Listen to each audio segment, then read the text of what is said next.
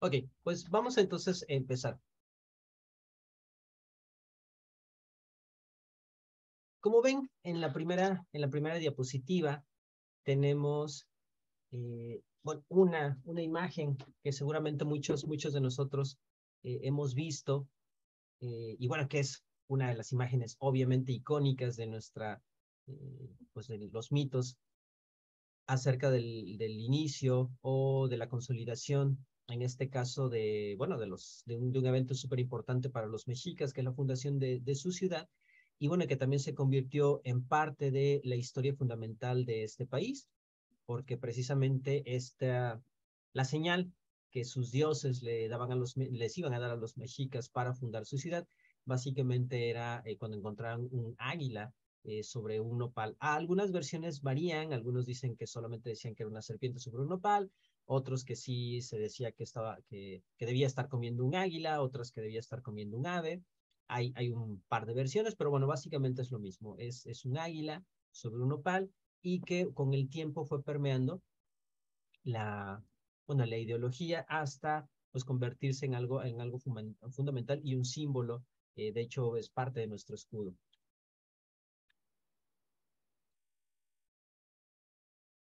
Bien, bueno, antes de, empezar, eh, les quiero aclarar, vamos a hacer un breve recorrido hablando un poco de qué es la identidad, porque de repente todos todos hablamos de, la identidad, pero quizá no tenemos muy, muy claro qué es, entonces vamos a conceptualizar un poquito qué es la identidad y sobre todo qué es lo que, lo que yo entiendo eh, sobre identidad, porque bueno, los que trabajamos estos temas sabemos que eh, cada, cada investigador tiene su propia, su propia conceptualización.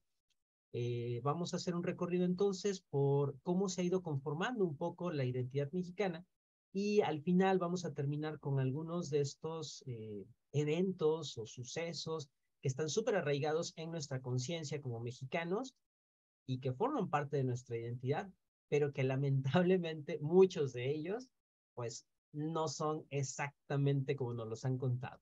Entonces, en algunos hay dos o tres versiones, y en algunos sabemos completamente que, que el evento como tal es, es un mito o es una mentira que se ha ido contando para, pues para formar esto que llamamos mexicanidad. Bueno, entonces, eh, pues como están viendo, eh, estas son solamente algunas, algunas definiciones. Este, la identidad es el conjunto de rasgos que definen la pertenencia a un grupo determinado y su consecutiva exclusión frente a otros. Eso es súper importante. Siempre que nos vamos a definir eh, como algo, eh, como una persona que le gusta el fútbol, vamos a descartar otra cosa. No me gusta el béisbol. O si le voy a tal equipo, obvio, no le voy al otro equipo. Entonces, eh, la identidad, además de incluirme dentro de algo, también me va a excluir de otra cosa. Si soy mexicano, pues no puedo ser, eh, no sé, europeo, Claro, sabemos que hay ahora dobles nacionalidades y hasta triples en algunos países, pero aún teniendo, teniendo dos o tres nos va a excluir del resto de nacionalidades. Entonces, la identidad en ese sentido es como muy clara. Aquí, eh, y este, y esta, este párrafo lo dice, nos incluye o nos hace sentir eh, que pertenecemos a un grupo, pero nos va a excluir frente a otros. Eh, nos da sentido y bueno, eh, nos da sentido atendiendo a uno o varios atributos culturales, priorizándolos del resto de atributos que se construye por el individuo y representa su autodefinición. ¿A qué se refiere esto? Que precisamente va a priorizar algunos, eh, algunas características sobre otras. Por ejemplo, al ser mexicano, eh, una de las cosas que nos enorgullecen frente a otros es nuestra capacidad, de algunos, de comer mucho chile, por decir algo, ¿no? Que nos gusta el escuchar mariachi, tomar tequila en 15 de septiembre. Y aunque obviamente son, son generalidades y quizá a no, no toda la gente le gusta, eh, por lo menos, aunque no lo hagamos, nos identificamos con esto. Sabemos que eso es muy mexicano. Entonces va a haber algunos atributos que están por encima de otros. Por ejemplo, igual quizá algunos de ustedes no sean católicos o, o, o, o, aunque lo sean, quizá no son, no son practicantes, pero una realidad es que el país, por lo, el, alrededor de, las cifras varían, pero entre el 80 y el 85% de la, por ciento de la población se considera católica. Entonces, eso también es aparte de la identidad como mexicano.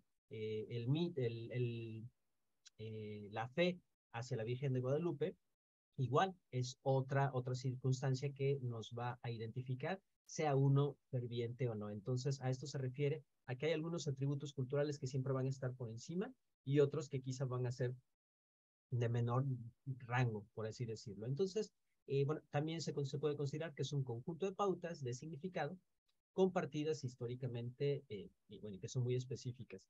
Estos sentidos están socialmente organizados, muchos de ellos son abstractos y se van a materializar de dos formas principales, en artefactos culturales y en prácticas sociales. ¿Qué prácticas sociales? Bueno, todas las que conocemos, las fiestas patrias, por ejemplo, eh, los bailes típicos, el, las fiestas que se realizan en, en, los pueblos, el Día de Muertos, es básicamente a eso, eh, ahí se estaría, se estaría refiriendo a las, eh, a todo lo que sería cultura, que conocemos ahora como cultura inmaterial. Y a los artefactos culturales, bueno, es precisamente todo lo que podemos, todo lo que podemos palpar. Las zonas arqueológicas, aunque no fueron construidas en estos tiempos, las hemos no las hemos reapropiado, aunque ni siquiera pertenezcamos a, a, los grupos o seamos descendientes de los grupos eh, indígenas que las construyeron, es, hemos hecho una reapropiación de esto y bueno, son artefactos, se pueden considerar artefactos eh, culturales. Otros, eh, una olla de barro, quien no ha comido frijoles en olla de barro y preferimos comer frijoles en olla de barro que, que, en olla express, por decirlo, los tamales, es parte de esto que podemos eh, palpar. Entonces, a eso también se, se, refiere. Y finalmente, la identidad constituye una autopercepción, un autorreconocimiento, una representación autoasignada desde una perspectiva subjetiva de los actores con respecto a su ubicación en el espacio social. Suena un poquito complicado, pero básicamente es la identidad, por más que vivamos en México, si uno no se autoasume o uno no aprende a tomar estos elementos como parte de uno mismo, pues uno no se va a sentir identificado. Y bueno, esto obviamente es totalmente subjetivo también, porque el que uno no se identifique con ponerse borracho en 15 de septiembre, controlar cohetes en Navidad, cosas por el estilo, como mojarse este, en las festividades de, de Semana Santa, y pues eso no quiere decir que uno no sea mexicano, simplemente que hay varios, varios elementos para, para poderlo hacer. Entonces, bueno, eh, bueno, por ahí me dicen que se escucha bajito. Voy a tratar de... Ahí me escuchan un poquito mejor. Voy a mover también mi micrófono. ¿Se escucha mejor? Bueno, espero que sí. Sí. Gracias. Sí. Bueno,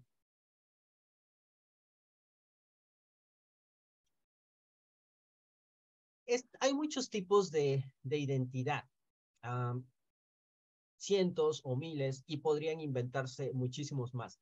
Los que básicamente eh, trabajamos dentro de la antropología, eh, pues bueno, son algunos específicos, aunque pueden ser muchos más.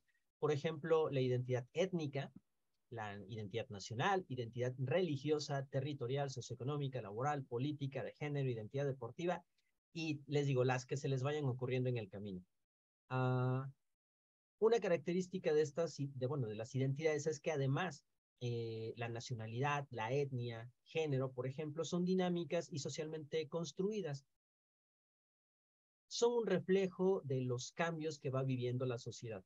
Eh, muchos de nosotros, muchos de ustedes, que, bueno, algunos los conozco y sé que somos contemporáneos, cuando éramos, eh, estábamos, no sé, en, en nuestros, cuando éramos adolescentes, pues sí, sabíamos que, por ejemplo, había diversidad sexual, que había gente que le gustaban hombres y mujeres y quizá empezaba a haber una apertura, pero nunca íbamos a imaginar que hubiera la apertura que hay en estos días y que se hablara de diferentes eh, géneros o incluso de gente que no se, no, se, no, no se asigna a ningún género. Entonces, bueno, eso también es interesante porque ha, ha habido una apertura y esto habla del dinamismo de las sociedades. Entonces, en cuanto a la pertenencia, nada está escrito y las cosas pueden ir cambiando. Y bueno, eso es parte también de los estudios de identidad, porque tenemos que ir viendo cómo, evolucionan y a qué factores responden estos cambios.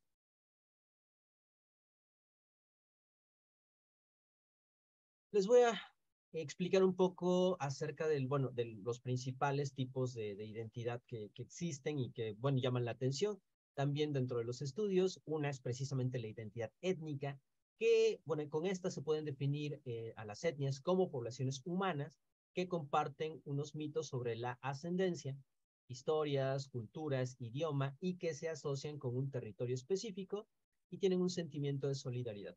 Básicamente nos estamos refiriendo en México, por ejemplo, a los grupos indígenas o últimamente, ya lo vimos también en alguna de las sesiones, o a los eh, afrodescendientes, que también los podríamos considerar como una etnia.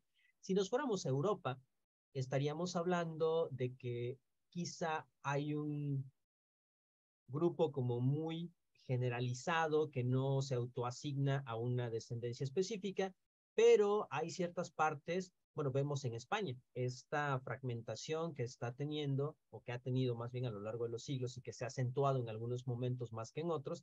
Tenemos a los, eh, a toda la gente eh, de, bueno, eh, de las diferentes regiones, a los vascos, a los gallegos, a los catalanes, que a veces no se sienten exactamente tan, tan españoles como el resto, ¿no?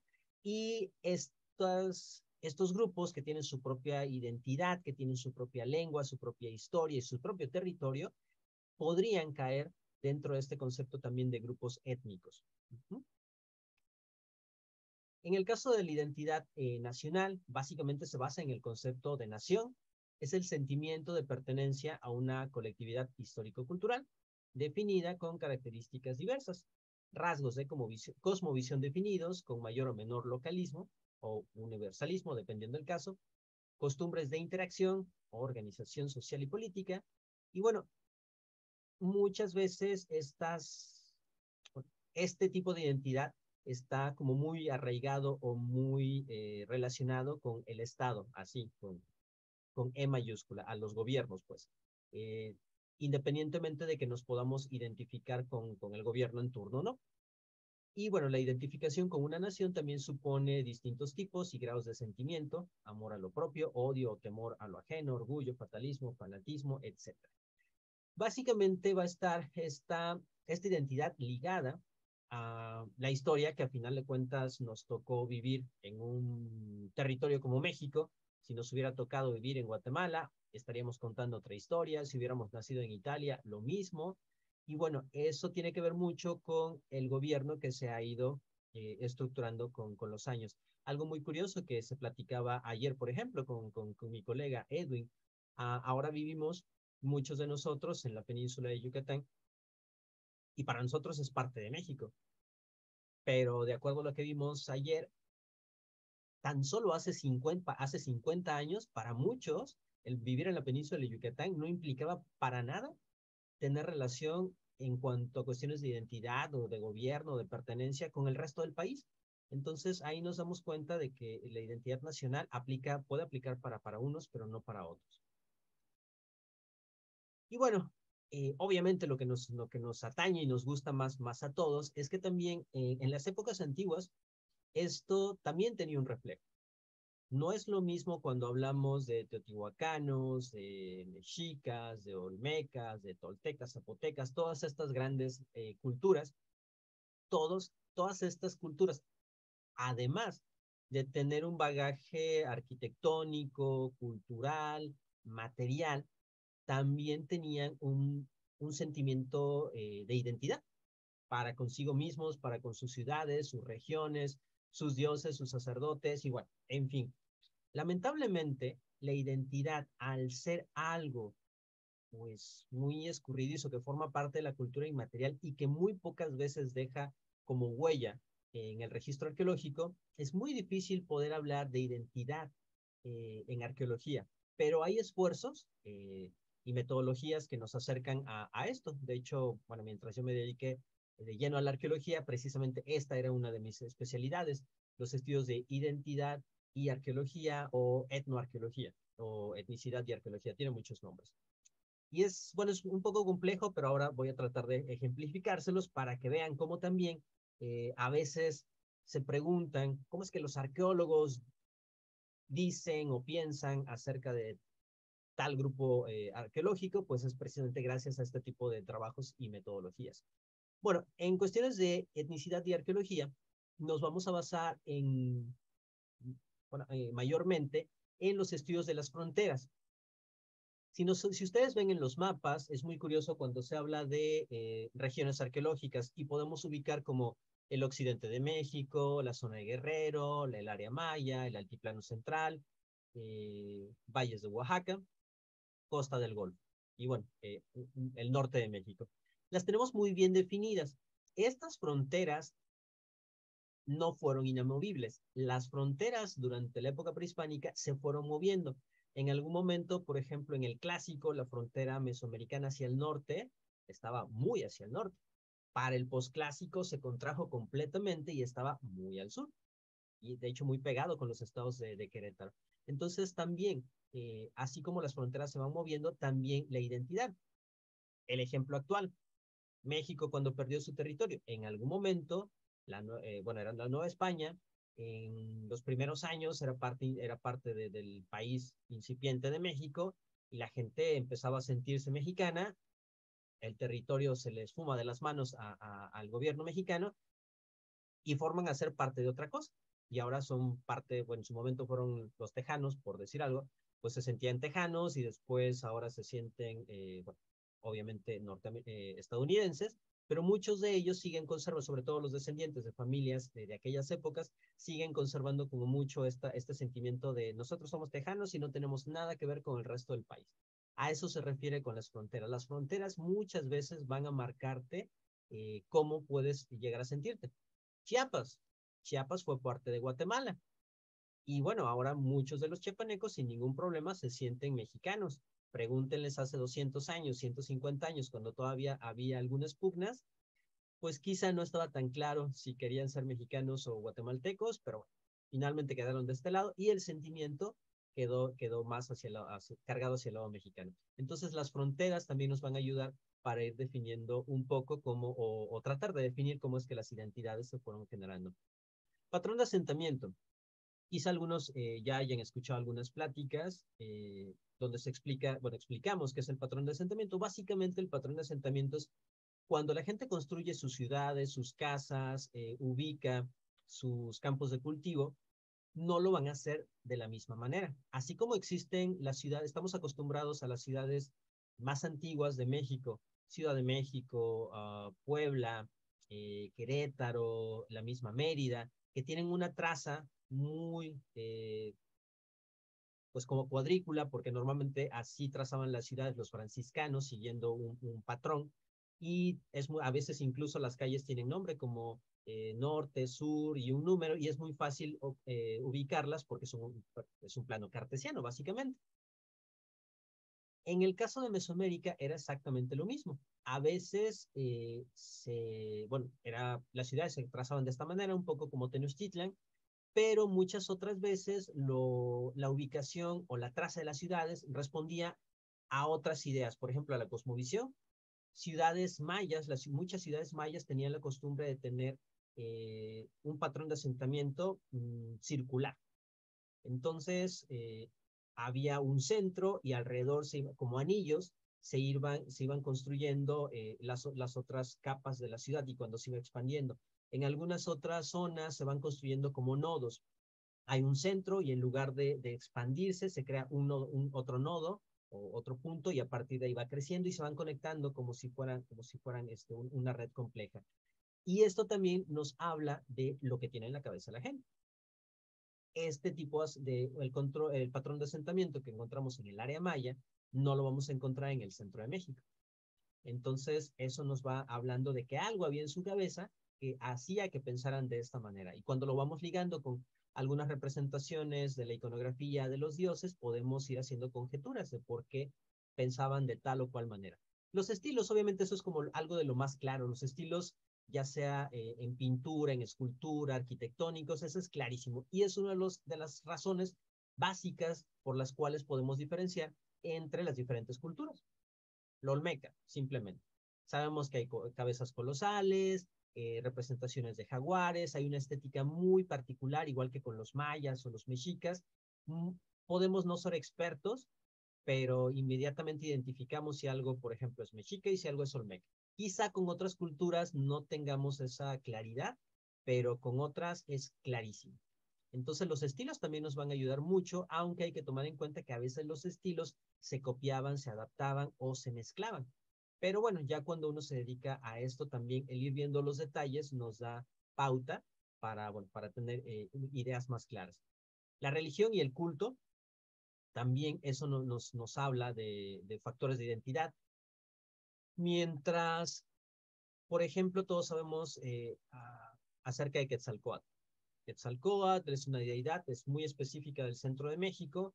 En el área maya, por ejemplo, no tenemos a Quetzalcóatl, tenemos a Cuculcán, que es una adaptación local, pero que no, pero que aparece solamente hasta el clásico tardío, por ejemplo, ¿no?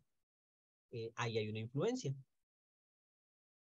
Los famosos eh, atlantes que tenemos en diferentes ciudades obviamente los más famosos, los Atlantes de Tula, pero también tenemos en Chichen Itza y en otras ciudades. Entonces también es una adaptación. No siempre quiere decir que las personas de cierta ciudad donde se origina este estilo hayan venido a la otra. Quizá como en estas eh, épocas, si alguien quería aprender un estilo sobre arquitectura, se iba a las ciudades más importantes, aprendía, regresaba, lo ponía en práctica, pero lo cargaba del simbolismo local. Entonces también ahí nos vamos, vamos viendo estilos, subestilos, y podemos darnos una idea de cómo era, era la identidad y, eh, bueno, y el, el, culto y cómo lo representaban. Y obviamente la iconografía que va muy ligado a todo esto, ¿no? Pues obviamente ni hablar de la escritura, que ahí sí es, eh, son sistemas también, aunque tienen una base común, son sistemas muy diferentes, que utilizan símbolos diferentes y que también nos va a hacer eh, tener una claridad de a quién, de a quién, a quién pertenece. Y bueno, precisamente hablando de lo, del Olmeca, les quería poner estos ejemplos, porque por un lado vamos a tener al Olmeca, pero también vamos a tener al Olmecoide. No todo lo que se vea como cabeza Olmeca va a ser de la cultura necesariamente Olmeca. Eh, la definición muy básica, hay muchas, muchas cosas para definir estos dos conceptos, pero la definición básica es, lo Olmeca va a provenir de la zona nuclear Olmeca, o sea, Tabasco y Veracruz, punto, y es el estilo original. Si salió de ahí, si se hizo ahí, va a ser Olmeca. Si se hizo afuera, va a ser Olmecoide. Entonces proviene de una zona de influencia y es una adaptación de eh, una adaptación local del estilo Olmeca. Todavía los investigadores, los especialistas se siguen debatiendo entre si los asentamientos que están fuera del área nuclear, eh, por ejemplo, asentamientos con mucha presencia y con estilos muy, muy importantes, por ejemplo, en Guerrero, Morelos, Puebla, que al parecer es como la, la zona eh, secundaria más importante después de, la zona nuclear olmeca. Algunos dicen que son colonias, otras simplemente van a decir que copiaron el estilo, algunos van a decir que fueron lugares que fueron conquistados por los olmecas, todavía no se ponen de acuerdo, pero bueno, mientras eso sucede y mientras tenemos los datos exactos, seguimos pensando que eh, esto es parte de un estilo eh, o de una adaptación olmeca, porque no es exactamente lo original.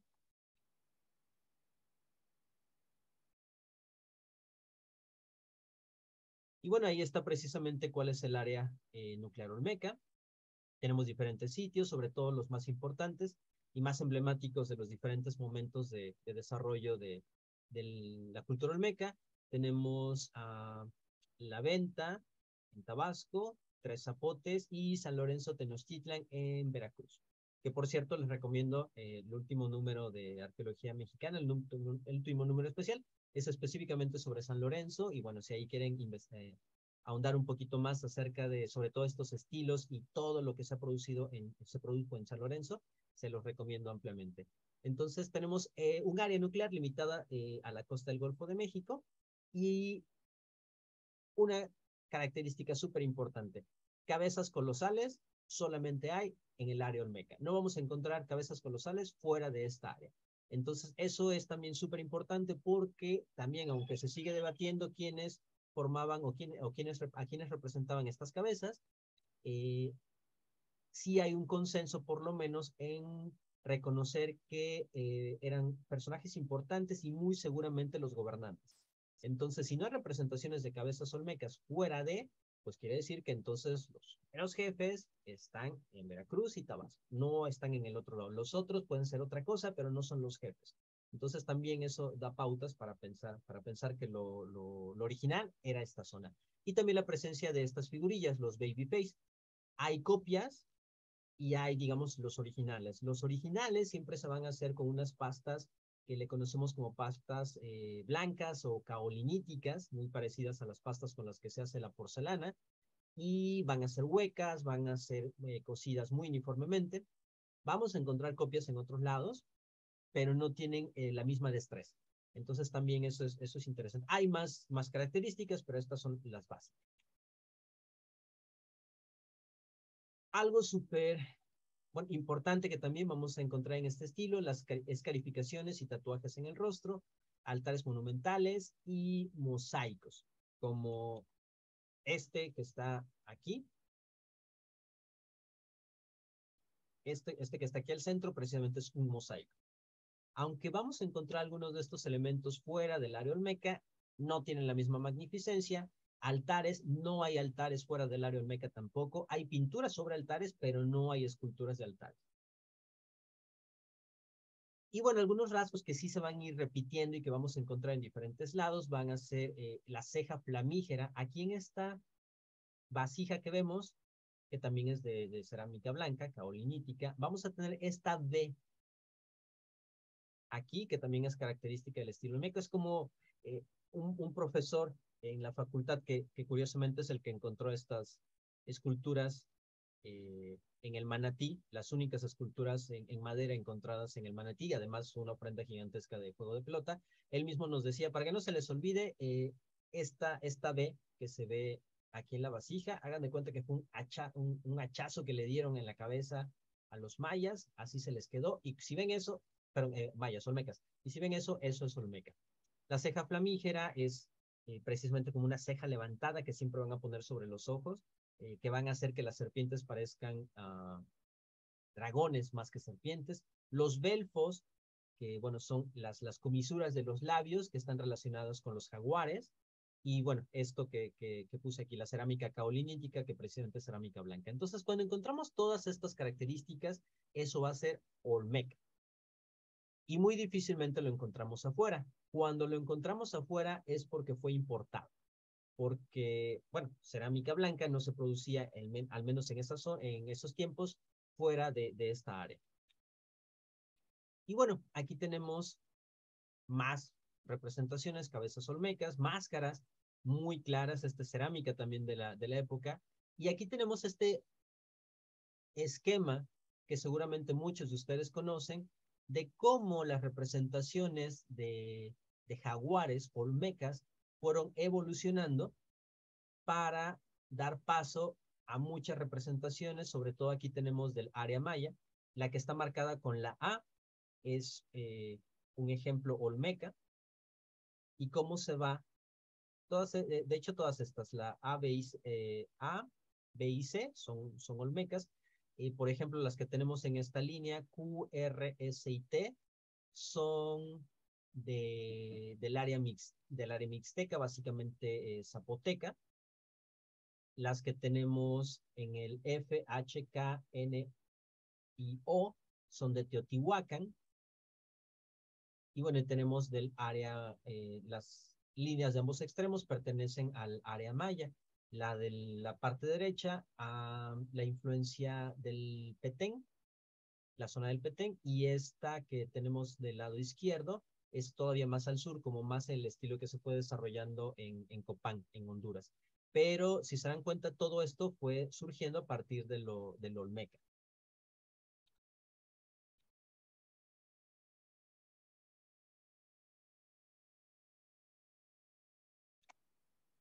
Y bueno, lo olmecoide, inmediatamente se va a notar en algunos casos la, diferencia. En otros va a ser difícil distinguirlo porque son ejemplos o manufacturas muy bien hechas, pero casi todo el tiempo se, se, puede, se puede uno dar cuenta. Y bueno, aquí está.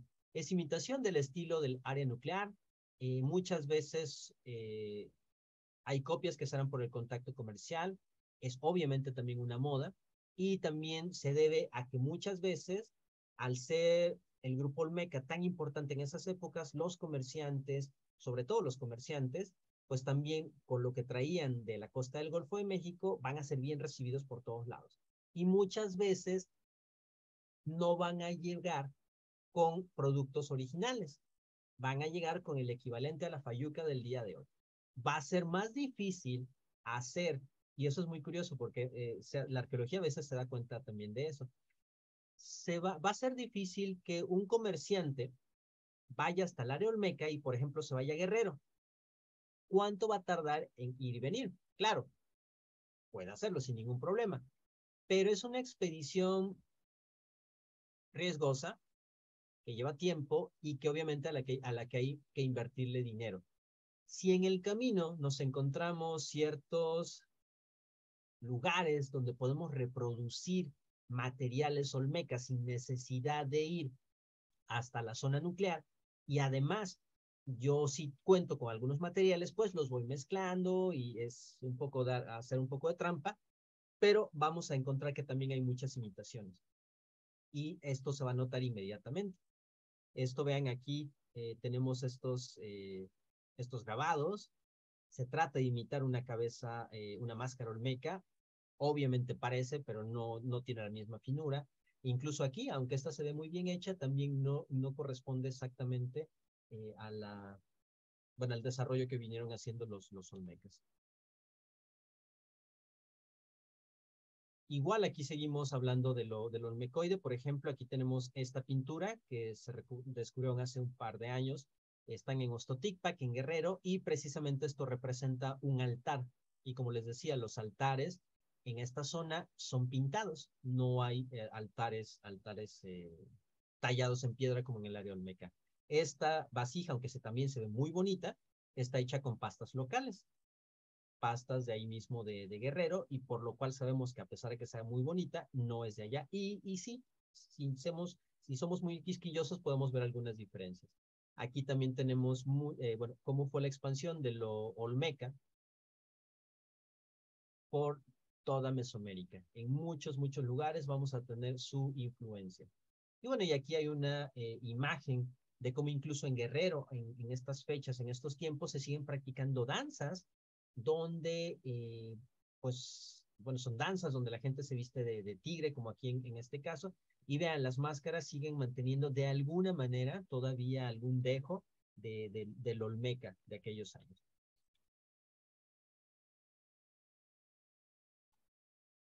Y bueno, ¿por qué, ¿por qué quise empezar esto si vamos a terminar con, el, México, el México independiente, con esta parte? para que nos demos, hagamos un recorrido de cómo las identidades, les digo, se van, se van transformando. Y a final de cuentas, aunque esto pasó hace mucho tiempo, todavía nos sigue permeando. Y vamos a ver cómo, porque en algún momento lo prehispánico se va a terminar entrelazando con, con lo nacional. Y bueno, aquí tenemos ya cómo lo olmeca va transitando a algo completamente diferente. Vamos a hablar de la cultura olmeca como tal y de la cultura de Izapa, que quizá algunos la hayan oído escuchar, otros no, es poco conocida y obviamente la cultura maya, ¿no?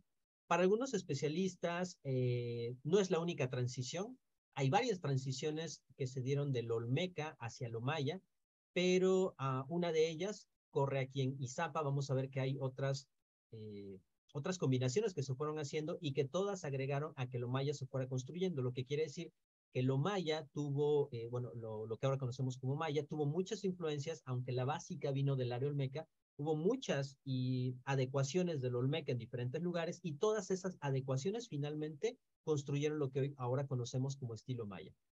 Eh, bueno, Izapa está precisamente en, en, Chiapas, aquí, aquí está.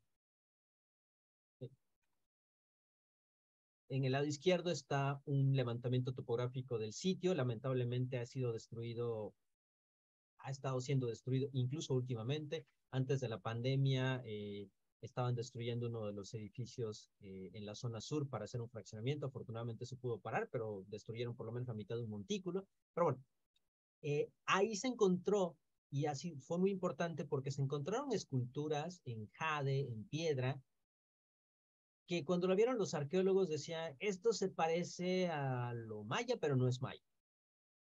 Y se parece a lo olmeca, pero no es olmeca. Y entonces llegaron a la conclusión de que era un estilo propio. No una transición, sino un estilo completamente propio que había retomado algunas cosas de los olmecas y que después se difumina en el tiempo, pero que también dejó herencia en lo maya. Estas, eh, estas eh, tallas en jade, que además son muy bonitas, nos da idea de esto. Se parece a lo maya, se parece a lo olmeca, pero no es ni uno ni otro. Pertenece a esta cultura que denominamos Izapa. Otra ciudad que abundó a, este, a esta riqueza de lo, de lo que después fue lo maya es la ciudad que actualmente está en Guatemala, Tacaliabá. En esta ciudad vamos a encontrar diferentes estelas, algunas ya con un intento de escritura maya. Y algo curioso, si recuerdan, toda la arquitectura olmeca básicamente era de tierra. En este sitio vamos a encontrar arquitectura de tierra, igual que el olmeca, pero que va combinando como esta escalinata con piedra. Y toda la escritura va a ser precisamente un ejemplo más de la transición de, de, de lo olmeca a lo maya. Y afortunadamente tenemos eh, una cronología muy clara. Por ejemplo, en este sitio, la población entre el 1500 y el 800 antes de Cristo, no sabemos, sabemos mucho de la población, pero no sabemos a qué grupo pertenecía. Ya para los años 800 al 400 antes de Cristo, sabemos que muy seguramente esta población perteneció a la rama lingüística Mijezoque, a la que también pertenecen los mayas. De hecho, en esta ciudad se va a encontrar hasta ahora lo que se considera el entierro más antiguo de un ajau maya. Ahorita les enseño estas, estas imágenes, que va a ser para el 500 antes de Cristo y también les voy a decir por qué los arqueólogos consideran que, que este es un ajau, la persona enterrada ahí. Para estos años, entre el año 400 eh, antes de Cristo y el 200 después de Cristo, muy posiblemente los, habla, eh, los habitantes de esta ciudad eran hablantes de una lengua maya, eh, ya extinta, Yok Canchep. Y ya finalmente, bueno, para eh, la estela 87, que es esta que tenemos aquí, se bueno, tiene escritura y consideramos a esa escritura como pre-maya, para el año 100. Entonces, en esta ciudad también vamos a encontrar esta transición Y bueno, aquí les muestro el entierro eh, de lo que los investigadores han considerado como el primer entierro de un ajau. ¿Por qué piensan que es el entierro de un ajau? Bueno, primero vamos a verlo. Esto es un dibujo, una reconstrucción de cómo se encontró. Aquí tenemos algunas vasijas, se encontraron algunas muñecas. Vean, todo esto es jade. Todo lo que está obviamente con verde es jade, obviamente. El esqueleto aquí está dibujado, pero en la realidad del esqueleto no se encontró absolutamente nada. ¿Cómo podemos reconstruir el esqueleto? Porque el esqueleto dejó una huella. Así como si hicieran con plastilina, presionaran su dedo, quitan el dedo, el dedo ya se fue, pero quedó la impronta en la plastilina. Igual, aquí lo enterraron, le pusieron tierra, el suelo alcalino de, y de, estas, de las selvas mayas pudre absolutamente, bueno, casi todo, incluyendo en este caso los huesos, los destruyó. Imagínense, dos mil, más de dos mil años enterrados, los destruyó, pero al irse compactando el suelo, creó, así como estos, eh, como las eh, los restos de, los, de la gente que habitó en Pompeya, que va dejando un hueco y después lo rellenan, pues algo así. Aquí dejó, dejó las, las, las huellas y en base a eso pudieron reconstruir el esqueleto que estaba precisamente en una posición anatómica extendida. Y bueno, aquí son unas muñecas y vean la cantidad de jade. Súper importante ya para unas épocas tan tempranas. son unas muñecas que, que son movibles, son articuladas. Pero lo más interesante es esta pieza que así como se ve tan pequeñita, eso les dio la pista a los arqueólogos para decir que este es un ajau. Porque la primera, cuando, sabemos que eh, cuando se considera en el preclásico un ajau o uno de los símbolos de los ajau es portar una efigie de, eh, de sopilote, de sopilote real, que aquí está. Cóndor, como lo llamarían al sur, pero aquí es un sopilote, este es el sopilote real. Entonces, en la ciudad se han encontrado y en muchos otros lados se han encontrado, pero esta efigie no se le encuentra a nadie más, solo la pueden portar eh, los ajau. Entonces, de ahí que se considere que precisamente este es el entierro de un ajau. Y bueno, con toda esa, con toda esa, esa cantidad de, de jade, pues, ¿quién puede afirmar lo contrario? Otro ejemplo de, de esto olmeca, que se adapta localmente y esa adaptación local eh, termina ayudando a lo maya, la vamos a tener en San Bartolo, también allá en Guatemala. Está al noreste de Tikal, pertenece al preclásico tardío.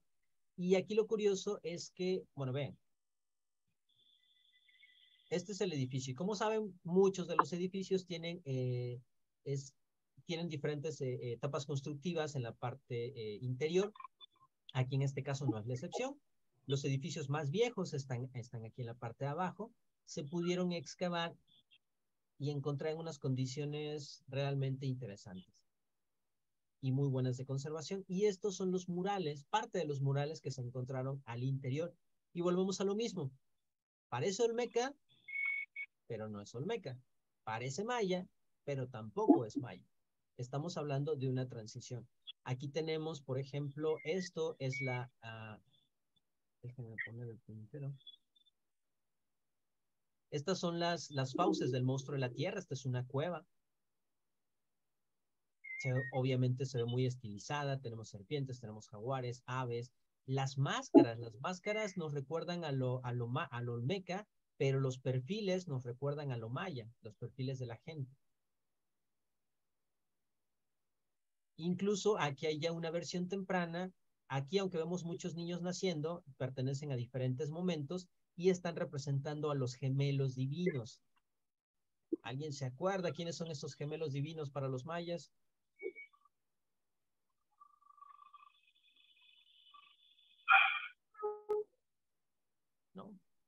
Bueno, de Xisalba, ¿no? ¿Perdón? No, no, de Xisalba, ¿no? Eh, bueno, eh, vienen de ahí, de, del Chivalba. Eh, ah, no, no, no, del juego de pelota, ¿no? E, exacto, pero los, los hermanos, bueno, los, los hermanos... Jonapo y Chivalanque. Ya, sí, sí, estos dos. Sí, sí, sí, sí, Y precisamente vemos que el mito es mucho más antiguo que lo maya.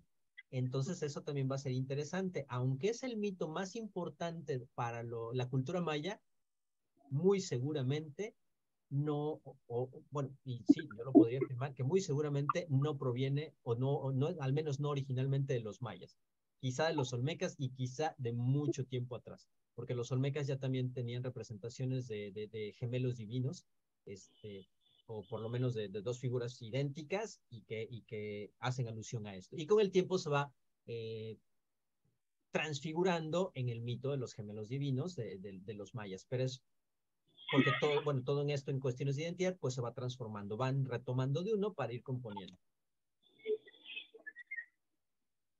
Y precisamente aquí les, les ejemplifico esto. Aquí tenemos a estos dos eh, gemelos que se les conoce como los gemelos del Azuzul.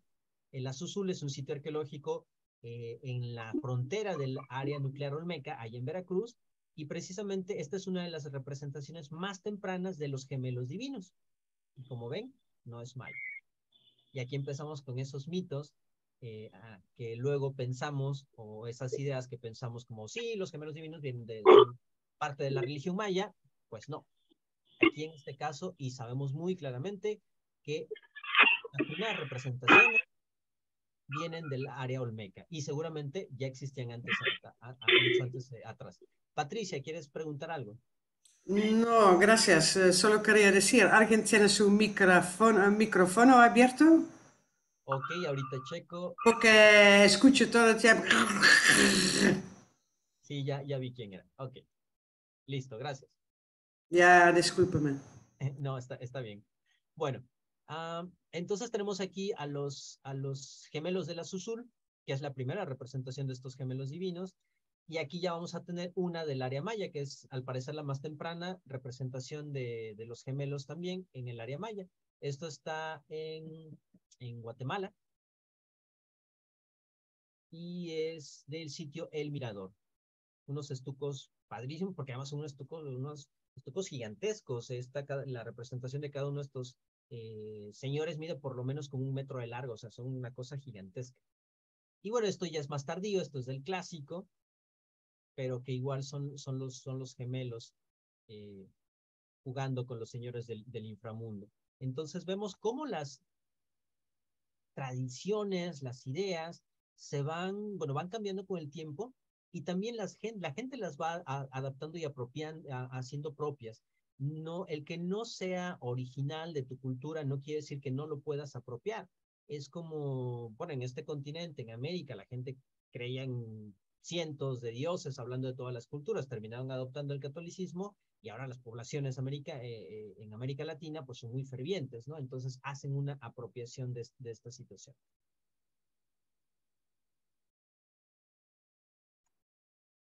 Y bueno, ya entran, ya acercándonos un poquito más a, estos tiempos, vamos a tener a los, a Tula. Tula, eh, todos hemos escuchado algo de Tula, quizá conozcamos más, menos, pero básicamente lo, bueno, Tula eh, fue una, una cultura que no vivió durante mucho tiempo. Ocupó lo que ahora es el estado de Hidalgo, y sobre todo sobresalió en lo que se considera el epiclásico, que es esta etapa precisamente de adaptación entre el, clásico y el posclásico, una etapa de transición que dura muy poco y que da pie a muchas ciudades y a, estilos eh, bueno, arquitectónicos muy importantes. Tenemos ciudades, este, Xochicalco, en Morelos es otro ejemplo de ciudad del posclásico. Eh, Cantona en Puebla también, la ciudad con más juegos de pelota de toda Mesoamérica forma parte de este periodo del epiclásico. Tajín también, por lo menos una de las partes más, eh, más importantes de, la historia de Tajín. Y bueno, es un periodo de reacomodo. Cuando llegan los mexicas, o los aztecas en general, y unos de ellos los mexicas, pero cuando todos los aztecas van llegando al centro de México, ellos, como parte de su discurso, para decir que somos importantes y que tenemos derecho a un pedacito del, del Valle de México, ellos se van a considerar como descendientes de los toltecas. Sabemos que obviamente no eran descendientes de los toltecas, pero así lo dijeron. Y entonces también va a empezar un periodo donde, eh, bueno, pero tampoco es que tuvieran tan, tan, no estuvieran tan, tan alejados. Aunque no son étnicamente parte de lo mismo,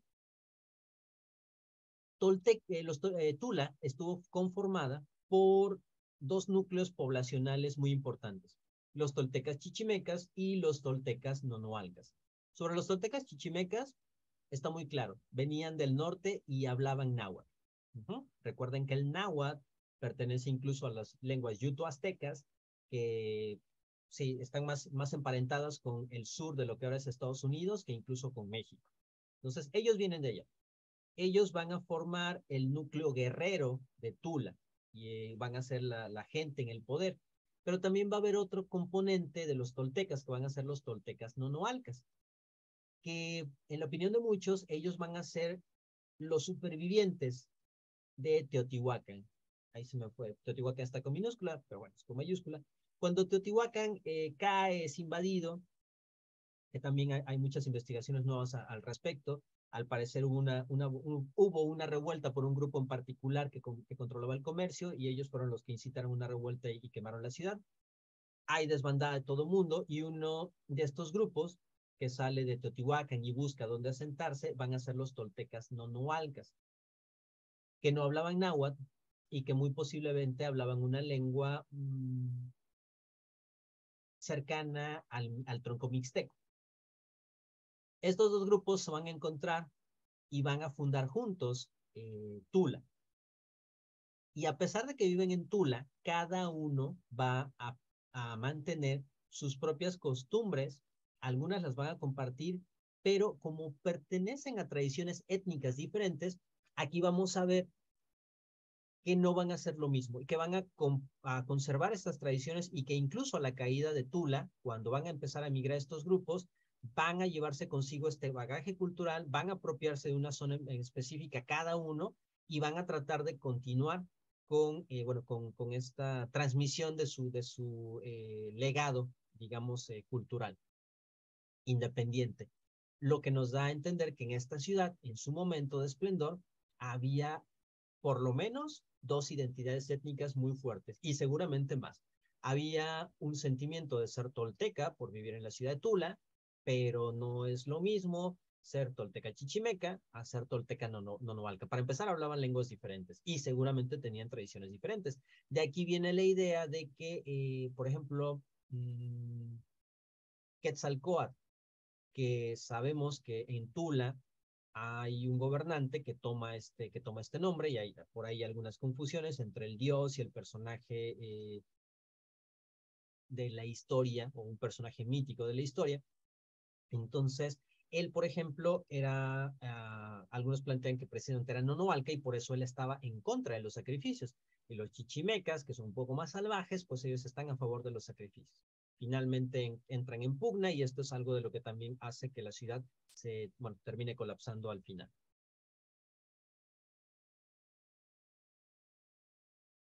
Y bueno, los nonoalcas van a vagar por diferentes eh, lados, van a terminar eh, migrando y ocupando lo que actualmente es el estado de, de Puebla, Veracruz y un poquito de, de, Oaxaca. Y bueno, van a fundar algunas ciudades. Ahí, por ejemplo, está el, el Valle de, de, Tehuacán, donde hay una ciudad que se ha estado excavando y que pertenece a los eh, nonoalcas. Y por el otro lado, los toltecas chichimecas van a irse a, a lo que es el Valle Poblano Tlaxcalteca, y van a conquistar a, conquistar a los Olmecas Xicalangas, que era otro grupo que vivía en Cholula, que también eran los eh, que habían vivido en, en, en Xochitecas, y ellos van a quedar con la zona. Entonces también, cuando hay un reacomodo, cuando hay migraciones, cuando hay conquistas, pues estas cuestiones de la identidad también se van a empezar a mover, porque es, bueno, ahora sabemos que los Olmecas Xicalancas vivían en Cholula, pero después llegan otro grupo. Como arqueólogo, ¿dónde podemos distinguir hasta dónde se quedó uno o dónde, se, dónde empezó el otro? Si los expulsaron completamente, si los conquistaron, si eh, los asimilaron culturalmente o mantuvieron las mismas eh, eh, tradiciones. Esto, bueno, con arqueología, pues podemos entender un poquito mejor. Pero bueno, esos solo son ejemplos. El ejemplo más claro, o uno de los ejemplos más claros, precisamente es el que tenemos con los aztecas que muchos de ustedes han oído hablar acerca de estas precisiones o imprecisiones. ¿Son aztecas o mexicas? A ver, de los que están aquí. Referirse a la gente que habitó Tenochtitlan. ¿Es correcto decirles aztecas o es correcto decirles mexicas? Ambos, uno, ¿cuál es, cuál es mejor que el otro?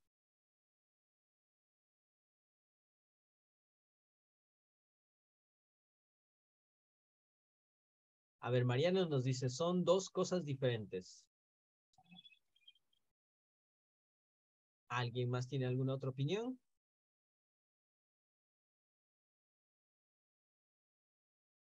Bueno, efectivamente, como bien nos dijo Mariana, son dos cosas diferentes, pero complementarias. Los aztecas, a ver, tengo otro comentario.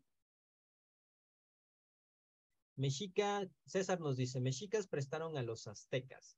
Efectivamente, por ahí no está tan, tan lejano. Pero azteca significa de la tierra de Aztlán.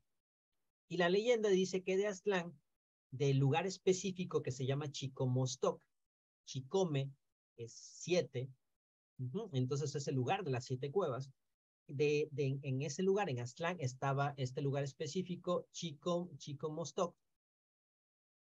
Y de Chico Mostoc salieron diferentes tribus. Una de esas tribus eran los mexicas.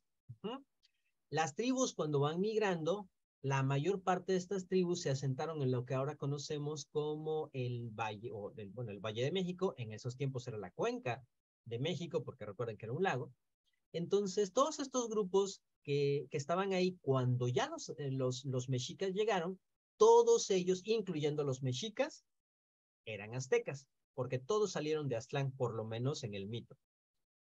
No es lo mismo, ahora sí, hablar de los ochimilcas, porque tenían una tradición completamente diferente. No es lo mismo hablar de los tecpanecas, de los chalcas, porque aunque todos hablaban náhuatl y todos habían venido del norte, no eran exactamente lo mismo. Si hubieran sido lo mismo, pues los mexicas no le hubieran hecho la guerra a estos grupos y, bueno, si hubieran sido como lo mismo, quizá hubieran entre todos hecho algo, algo mejor. Tan no era así que precisamente por eso los mexicas se dedicaron a hacerles la guerra y a derrocarlos absolutamente a todos los demás grupos aztecas y quedarse ellos como, eh, eh, bueno, como, como el grupo más importante. Entonces, aztecas son los grupos que emigraron de Aztlán. Una de esas tribus son los mexicas. Entonces sí hay una diferencia. Pero como esta diferencia, o más bien esta, mm, se les ha referido a los, a los mexicas siempre como aztecas desde hace 500 años, y los, la mayor parte de los arqueólogos, de los investigadores han tomado la, la, la decisión, no, no como nos ponemos de acuerdo, pero si alguien habla de aztecas, sabemos normalmente que nos vamos a referir a, a los mexicas. Eh, ahí muchos no son puristas, si quieren ser muy específicos, es mejor hablar de, mexicas o incluso de tenochcas, refiriéndonos a la ciudad que habitaban. Pero bueno, esa es, esa es la diferencia. Y obviamente esto también nos, nos remite a la identidad, porque efectivamente, si tú quizá le hubieras dicho a un mexica azteca, pues quizá no le hubiera molestado tanto, pero quizá alguno más susceptible diría, ay, no, yo sí soy diferente a un chalca, entonces no me, o sea, no me pongas en la misma clasificación, ¿no? O sea, somos parecidos, pero no tanto, ¿no? Entonces, la identidad también en ese sentido es súper importante. Y aquí está, bueno, precisamente la, la, explicación, ¿no? Los aztecas, provenientes de Aztlán. El término, sobre todo, se hizo muy popular a partir del siglo XVII y, bueno, actualmente, como les digo, se utiliza como sinónimo. Entonces no, no pasa nada. Si algún, sobre todo en nuestros tours, eso también es muy claro. Si la gente se refiere, le decimos mexicas, yo creo que el 50% o más no va a saber ni a qué nos referimos. Sí, sí, es correcto. Sí, no lo entienden. si les decimos aztecas, inmediatamente todos van a saber. Piensa que son mexicanos. Piensa, Ah, escuchan eh, mexicas eh, mexicanas. Ah, Ajá, algo así, porque suena. Y, no, están, no están, de hecho, tan, tan, este, tan alejados, porque de ahí viene precisamente la evolución de, de, México. como de, Entonces, mejor decir aztecas, ya. Exacto, sí.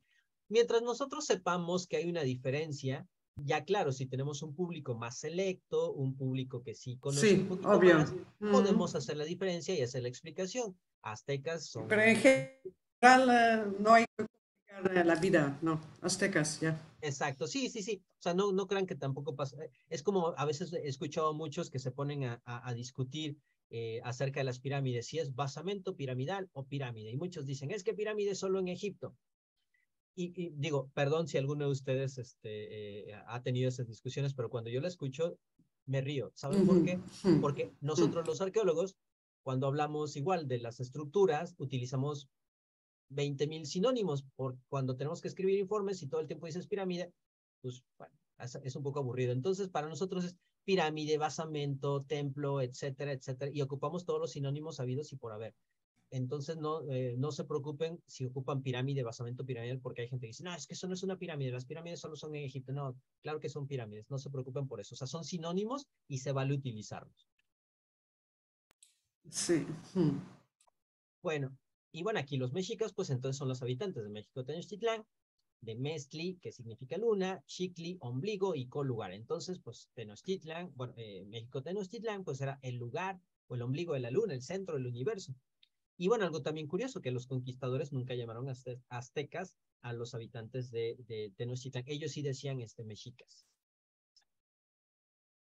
Y bueno, esto ya lo sabemos, es con lo que empezamos. La profecía de Huitzilopochtli, que los aztecas tenían que, los mexicas tenían que fundar su ciudad al ver un águila sobre un nopal. Eh, tet significa piedra, Nochtli, nopal tunero y Tlán. De ahí viene el nombre de Tenochtitlán.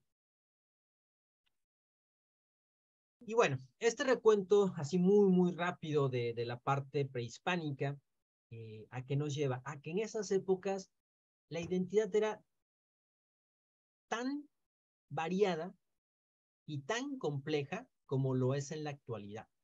Y ahorita vamos a cerrar esta primera parte con, bueno, con el ejemplo precisamente de los mexicas, porque les decía, aquí tenemos varias versiones del mito de el águila sobre el nopal. Vean, aquí en el, esta imagen tenemos el códice mendocino.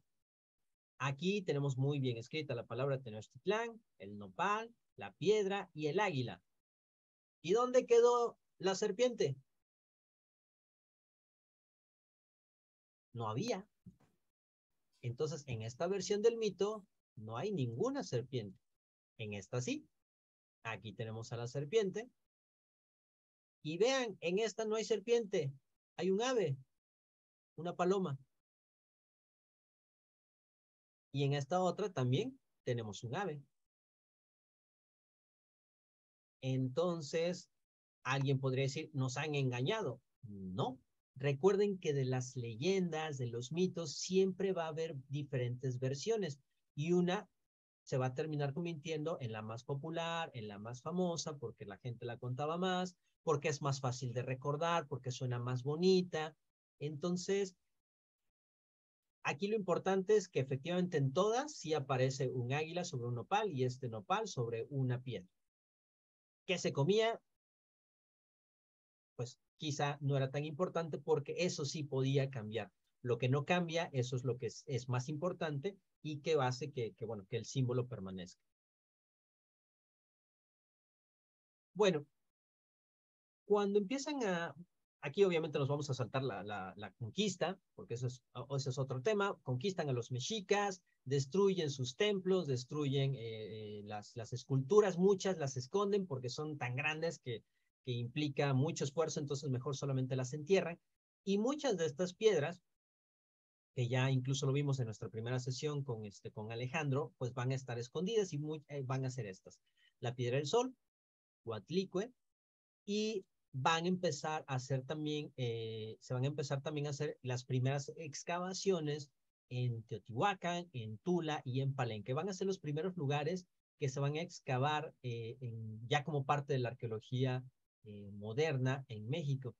Y cuando se empiezan a encontrar estas esculturas y estas ciudades, sobre todo los españoles y bueno, los criollos en particular, van a empezar a tener un contacto con este México, bueno, más bien con Mesoamérica, que había estado escondido por unos 200 años.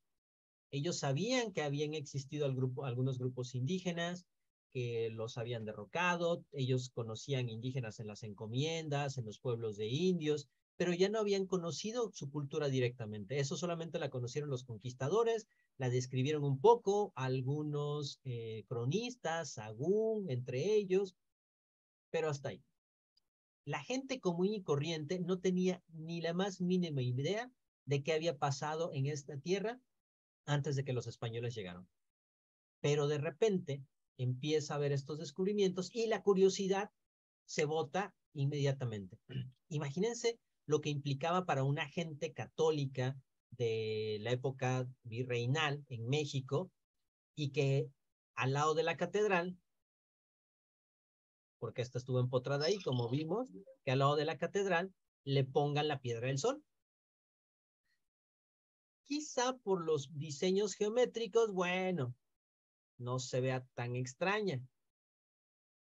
Pero si me ponen esta cosa, si me ponen a la cuatlicue,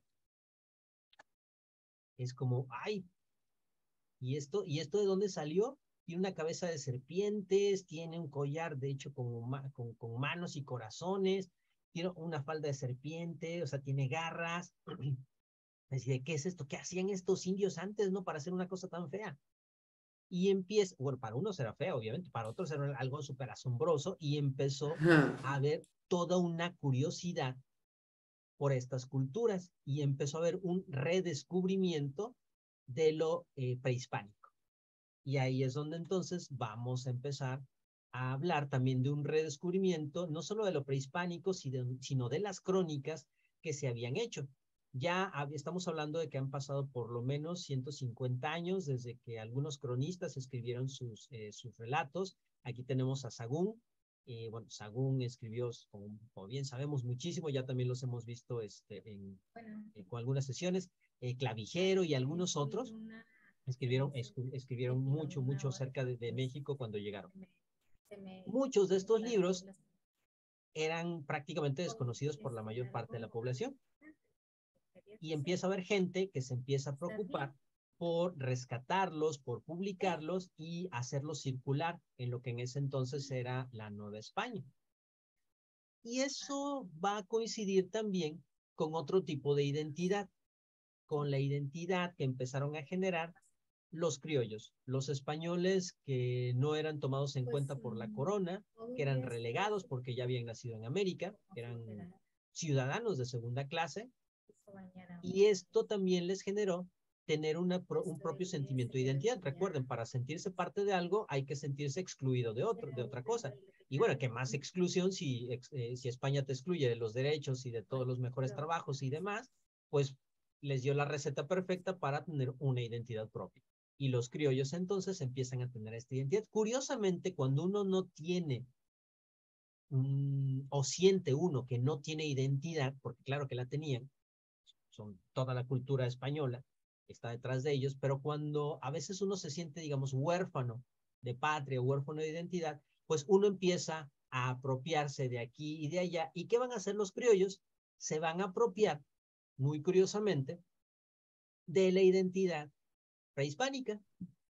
Aunque ellos no, no tengan descendientes americanos originales, van a decir, yo vivo en estas tierras y en estas tierras pasó algo interesante. Y aunque ellos saben que no son descendientes directos, se van a apropiar de este conocimiento, de este bagaje, y entonces va a haber un, interés muy grande por todo esto. Ya bueno, aquí tenemos algunas personas.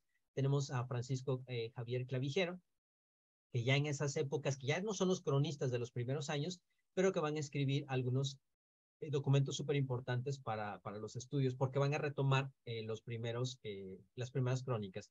Vamos, por ejemplo, Clavijero escribe la historia antigua de México y además hace una defensa del americanismo. Esto es bien interesante porque mientras los españoles o la corona española los va excluyendo, también otros europeos se van a burlar o van a tratar de menospreciar a los intelectuales criollos en América. Y, por ejemplo, Clavijero, en este escrito Defensa del Americanismo, él va de, porque la, la idea en España, en, en general en Europa, es que lo que había en América era una corrupción o una degeneración de las cosas buenas que había en el viejo mundo. Entonces, por ejemplo, eh, opinaban, es algo ahora que nos parecía muy loco, pero opinaban que los eh, tapires, por ejemplo, eran una deformación de los elefantes. Solo por poner un ejemplo, ¿no? Y hablaban de otras, de plantas y de, y de, que la religión eh, mesoamericana había sido una deformación del cristianismo que no habían sabido entender y bueno, cosas por el estilo. Entonces, en esta defensa, eh, Francisco Javier Clavijero dice, no, las cosas que hay aquí, hay un montón de cosas súper interesantes, cada una es única por esto y por otra cosa, y bueno, es solo un ejemplo, ¿no? Vamos a tener también a Antonio León y Gama, que aquí está en la imagen en, azul. Él va a hacer una descripción histórica y cronológica, bueno, así se llama este, este documento, descripción histórica y cronológica de las dos piedras. Las dos piedras precisamente va a ser la Coatlicue y eh, lo que conocemos como el, calendario del sol. Y va a ser el primero que al ver esa piedra diga, esto es un calendario. A él lo debemos, porque además él era astrónomo.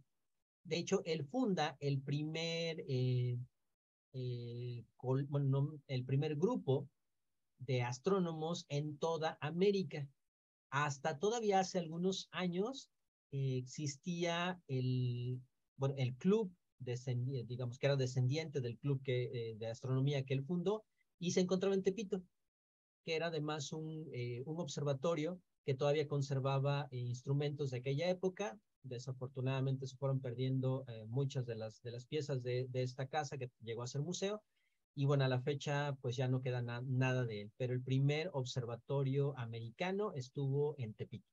Ahí para los que quieran buscar información la pueden encontrar. Y bueno, también entonces tenemos a Fray Servando Teresa de Mier, alguien súper importante, eh, que también va a empezar a hablar de esto, eh, va, a ser un, alguien súper importante dentro del eh, desarrollo del na nacionalismo criollo, y que bueno, ya parte de las anécdotas, pues cuando mueres enterrado en Santo Domingo y en alguna remodelación de Santo Domingo sacan algunos cuerpos, al parecer eh, entre ellos estaba el de él y estaban momificados y los terminan vendiendo a un circo y el circo se va a hacer una gira por Europa y bueno, la momia del pobre señor terminó incluso vendida este, al final por cinco centavos en Europa. Pero bueno, son anécdotas. Y bueno, van en, vamos a tener entonces a los primeros exploradores e historiadores ya muy, muy formales. Vamos a tener a Carlos de Sigüenza y Góngora. Sabemos que él fue amigo de, de, y confidente Sor Juan Inés de la Cruz. Él va a ser la persona que realice las primeras excavaciones en, en, en Teotihuacán. En la época del México Nuevo Hispano vamos a tener a Lorenzo Boturini, que aquí lo tenemos a, del, en la parte de arriba a la derecha, va a ser una de las personas, bueno, la persona que va a, a, recabar la mayor colección de documentos históricos. Eh, básicamente era muy curioso porque él vino específicamente a buscar documentos acerca de la Virgen de Guadalupe. Él era muy ferviente, bueno, era, eh, era católico, pero además era muy ferviente de la Virgen. Y por alguna razón se enteró que en México había un culto a la Virgen de Guadalupe y se interesó y quiso venir a ver qué pasaba aquí. En el camino encontró que había cosas sobre, sobre la Virgen, sobre eh, lo que eh, había pasado en la época prehispánica uh, en, en, torno a este culto, a Tonantzin, básicamente. Y bueno, ya entrados, eh, como además tenía dinero, pues ya entrados en, en, este en trabajo, se puso a recabar un montón de eh, códices y, y, piezas prehispánicas. Y bueno, que hubiera sido una fortuna que su, su colección se hubiera, hubiera permanecido completa, pero después se fragmentó, se vendió y la mayor parte terminó vendida en el extranjero.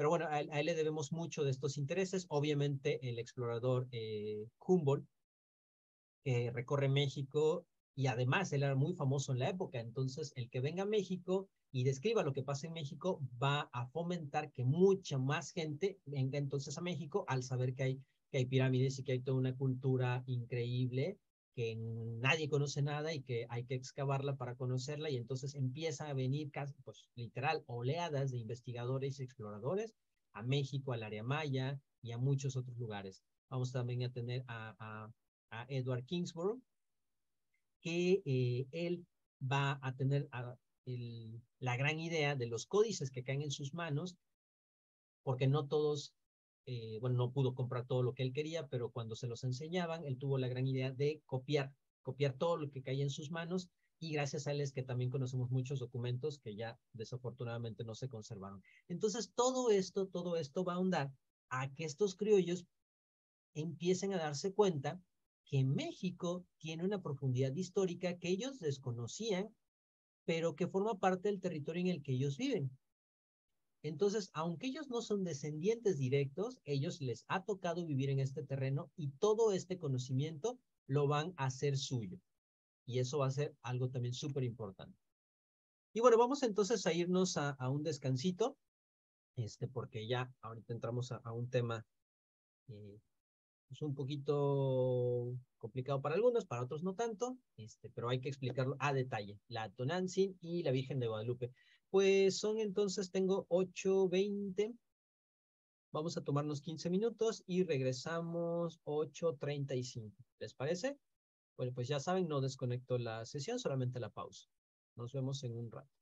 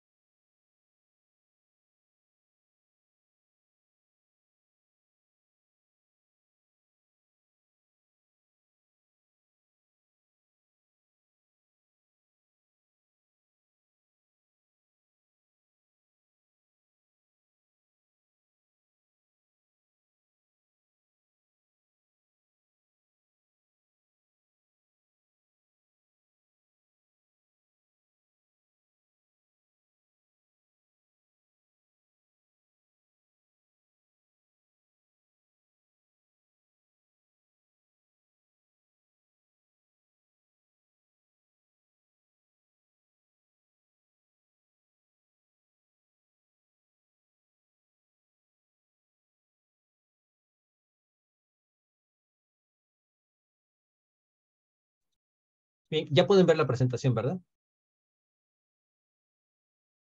Sí. Ok. Bien. Sí. Les decía entonces, vamos con esta parte que, bueno, como ya les, les comenté hace un ratito, ah, es súper importante para la identidad de muchos, muchos mexicanos y bueno, y me refiero a, a todo, eh, todo el culto que existe alrededor de la Virgen de Guadalupe. Escuchamos muchas cosas, normalmente eh, la versión que solemos escuchar es que fue una imposición de los españoles católicos a los indígenas para que dejaran de practicar su religión, sus cultos, uh, y este, eh, presentar sus respetos a las deidades antiguas.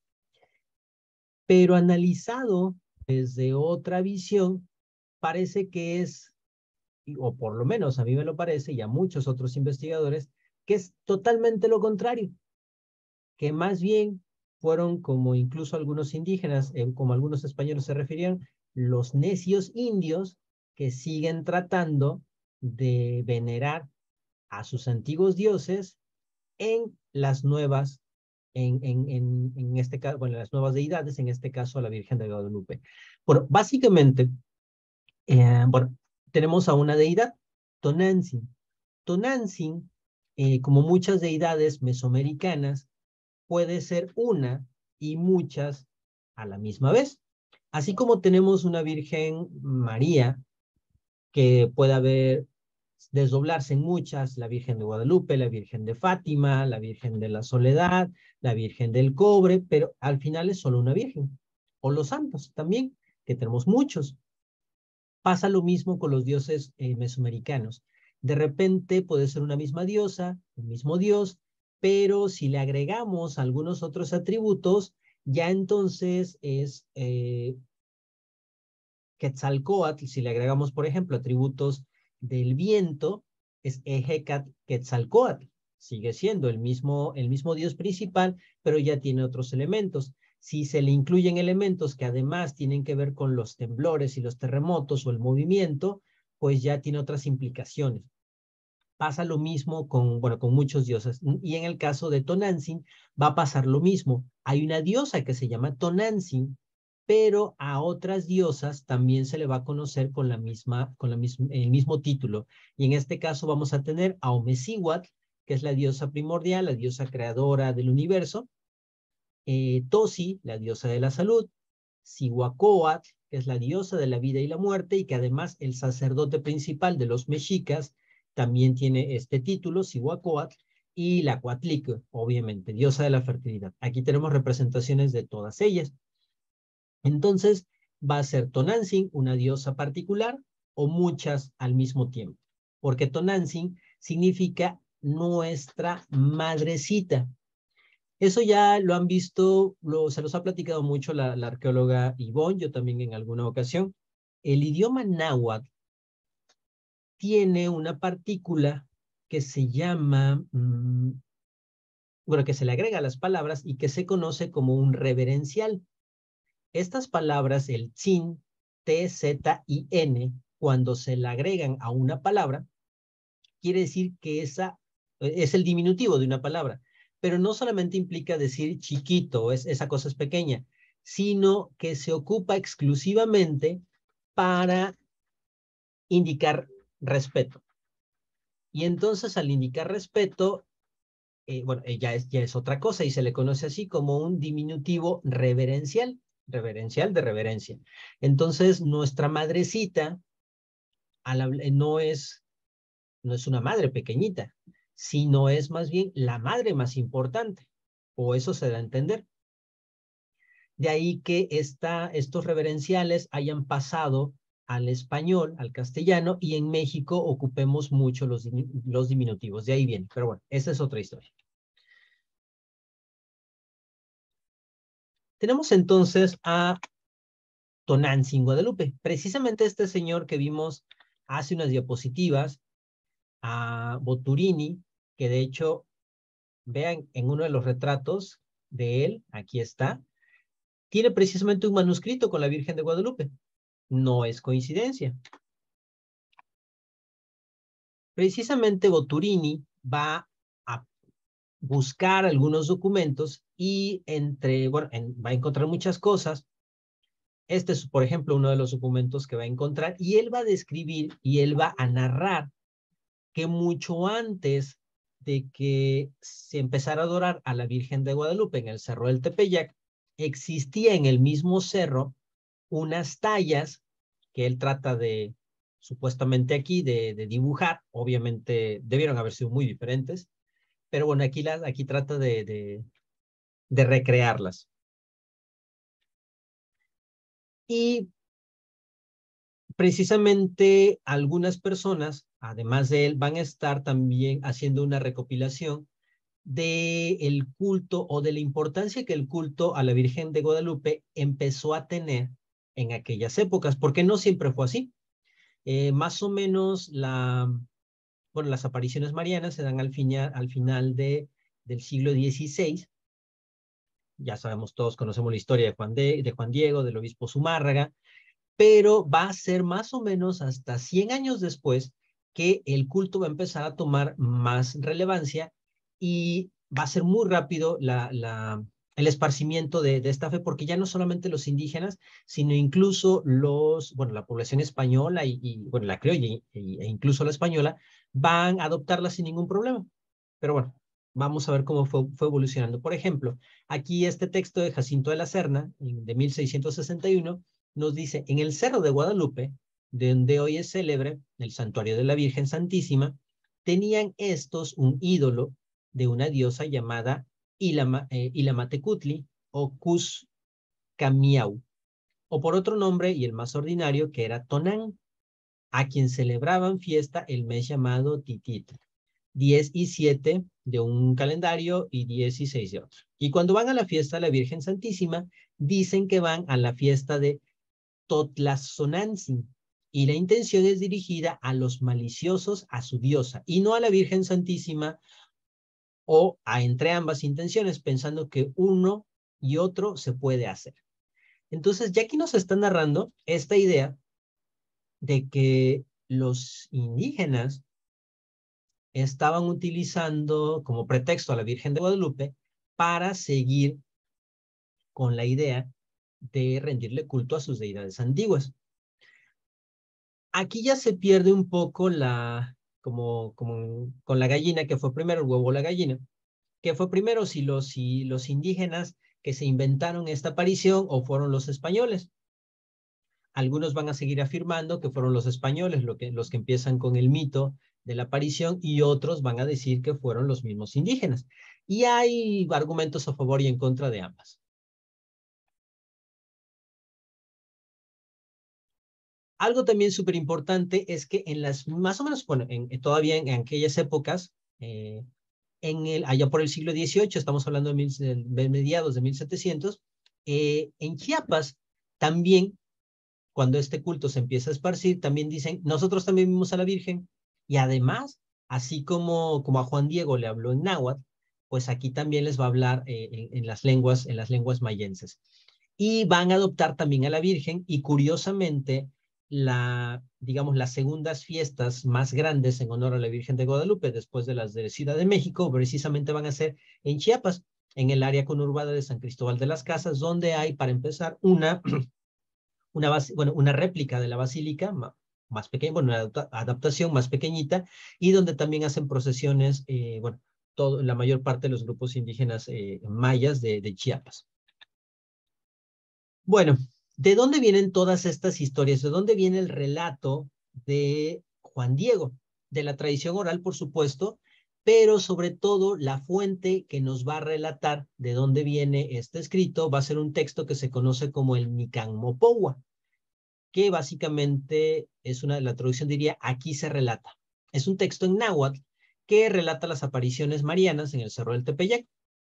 El texto fue escrito por Antonio Valeriano, en 1556, quien dice, quien según la leyenda escuchó el relato de la viva voz de Juan Diego. Él cuenta que entrevistó directamente a Juan Diego. ¿Quién es este señor Antonio Valeriano? Era un noble de, bueno, de esta nobleza mexica que fue eh, reconocida por los españoles cuando empieza el, proceso de conquista, son los, esta, digamos, primera generación ya de gente, que, de gente noble que eh, nace bajo el yugo español, pero que todavía conserva de alguna manera los privilegios de, de, los antiguos mexicas. Entonces, eh, se piensa que también seguramente pasó por, por Tlatelolco, por el colegio de Tlatelolco, y que ahí aprendió, eh, bueno, latín, eh, castellano, otras lenguas, a transcribir el náhuatl con caracteres latinos. Y en este texto, quien tenga la oportunidad de, leerlo, porque es muy fácil conseguir una copia en Internet, hay, hay varias versiones, como unas más apegadas a cómo sonaba el, el náhuatl y el castellano en aquellas épocas, otras tratan de hacer adaptaciones, pero en general, aparte de que nos cuenta la historia, que eso ya nos la sabemos, cuenta o, describe, o más bien transcribe, eh, poemas a la Virgen, pero que cuando uno los escucha, es bien curioso. Esos poemas, o sea, si uno conoce un poquito de, de Mesoamérica, o sea, esos poemas no están escritos a la Virgen de Guadalupe. Esos poemas están escritos a cualquier deidad, menos a la Virgen de Guadalupe. Entonces, aquí vuelve a replantear, a, bueno, a replantearse la idea de si, de si efectivamente esta intención de los indígenas o este fervor a la Virgen de Guadalupe y está realmente arraigado en la fe católica o está arraigado en esta tradición prehispánica. De hecho, otra cosa, otra pista que nos hace pensar, que es más bien lo segundo, que es más una necedad, como bien dijeron de los indios, es que en este caso los franciscanos, incluyendo a Sagún, ellos repudian este relato y dicen no lo podemos aceptar porque además este relato fusiona las antiguas ideas eh, con las cristianas y Sagún fue uno de los detractores muy tempranos de la Virgen de Guadalupe. Él decía que esto solamente era una treta de los indígenas para poder mantener sus costumbres. Y no fue el único. Los franciscanos de aquella época, la mayoría opinaban lo mismo. Y bueno, el mito fue cambiando. Tenemos, bueno, este pedacito que les, que les comenté, que se llama incluso lo, Códice, eh, que perteneció a Lorenzo Boturini. Y bueno,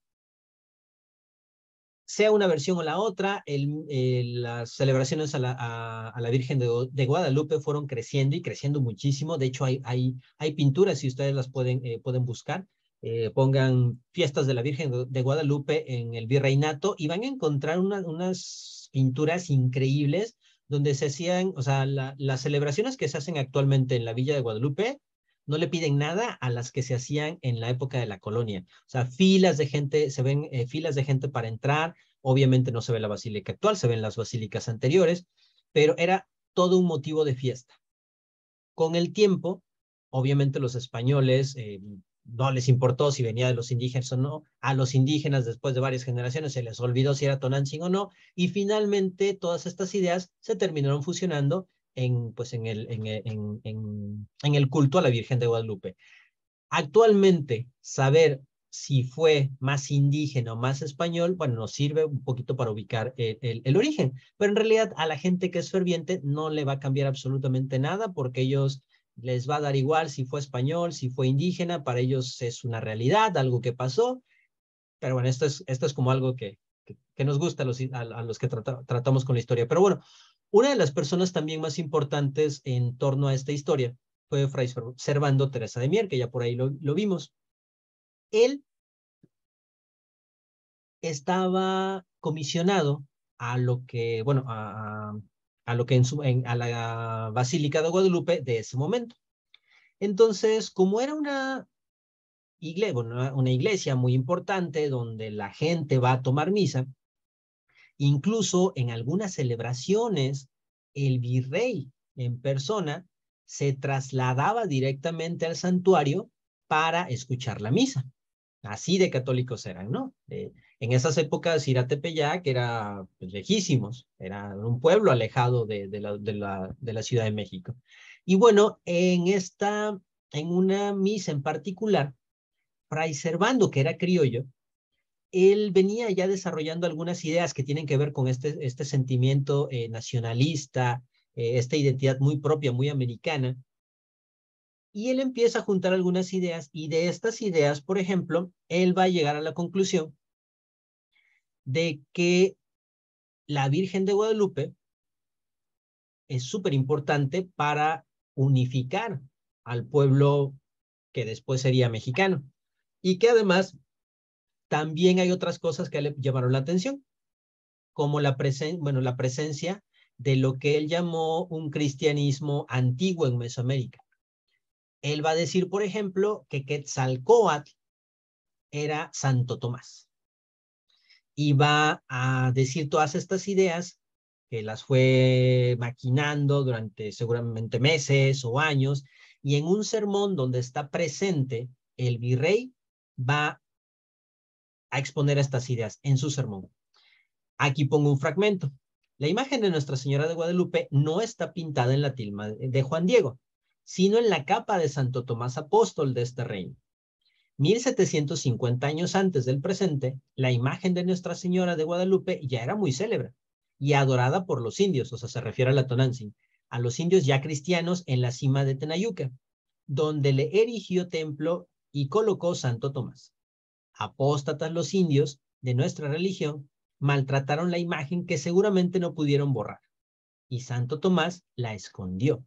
Hasta que diez años después de la conquista apareció la reina de los cielos a Juan Diego, pidiendo un templo y le entregó la última vez su imagen para que la llevara a la presencia del señor Zumárraga. La imagen de Nuestra Señora es pintura de los principios del siglo I de la iglesia, pero así como su conservación, su pincel es superior a toda humana industria. Como como que la misma Virgen María se estampó naturalmente en el lienzo viviendo de carne mortal. A nosotros nos parece como un, texto igual sin mucha importancia, pero para ese momento, eh, y decirlo frente al virrey, estas ideas fueron completamente revolucionarias y se ganó inmediatamente que lo corrieran de la, de la Basílica de, este, de Guadalupe, que lo corrieran del país y que, le, bueno, de la Nueva España y que le prohibieran la entrada porque estas ideas iban en contra de muchas, bueno, de lo que se había venido diciendo. Y como normalmente la Iglesia Católica y el gobierno está en contra de las ideas revolucionarias, pues lo más sencillo fue correrlo.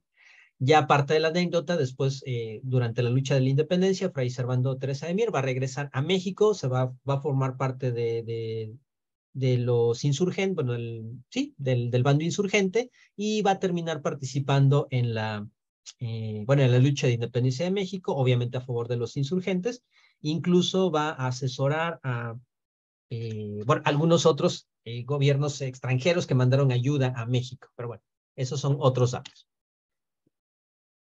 Entonces, esto se los quería comentar porque les digo, pensamos que muchas veces el sincretismo, en el caso de la Virgen, hay cosas que impusieron los españoles y otras cosas parece que no tanto, parece que más bien los indígenas se salían con la suya en algunos casos y desde mi perspectiva el caso de la Virgen de Guadalupe es uno de ellos. Bueno, hay dos formas de ver el culto guadalupano, como imposición cultural o como la continuidad de lo mejor de dos culturas, como fusión de la poesía y de la flor y el canto, que le llamaban a la poesía y al canto lo fusionaban y había un término en náhuatl para referirse a ello, incuicatl insochit. Y este es uno de los eh, poemas, un fragmento de un poema que, de los que les comentaba, dice, soy su madrecita de él, Dios verdadero, dador de la vida, y Palnemohuani, inventor, inventor de la gente, Teyocoyani, dueño del cerca y del junto, Loquenahuaque, señor de los cielos, Ilhuicagua, dueño de la superficie terrestre, Tlalticpaque, eso es de Antonio Valeriano. Y más bien parece una de las descripciones que hemos encontrado incluso en textos mayas, cuando se describe a, los dioses y a sus características, al monstruo de la tierra. Entonces aquí no suena a nada que tenga que ver con, la religión católica. Pero bueno, pasamos entonces a estas ideas. Y bueno, estas ideas a partir de este famoso sermón, pues más bien nos damos cuenta que ya otros las habían planteado. O sea, no era nueva esta idea también de Santo Tomás eh, y Quetzalcóatl. Eh, Diego Durán ya había eh, dicho mucho antes que aquel hombre venerable, el que llaman Topilzin, Topilzin Quetzalcóatl, fue, según las tradiciones indígenas, un casto y penitente sacerdote, del que se recuerdan episodios al parecer milagrosos. Este santo varón fue algún apóstol que Dios aportó a esta tierra.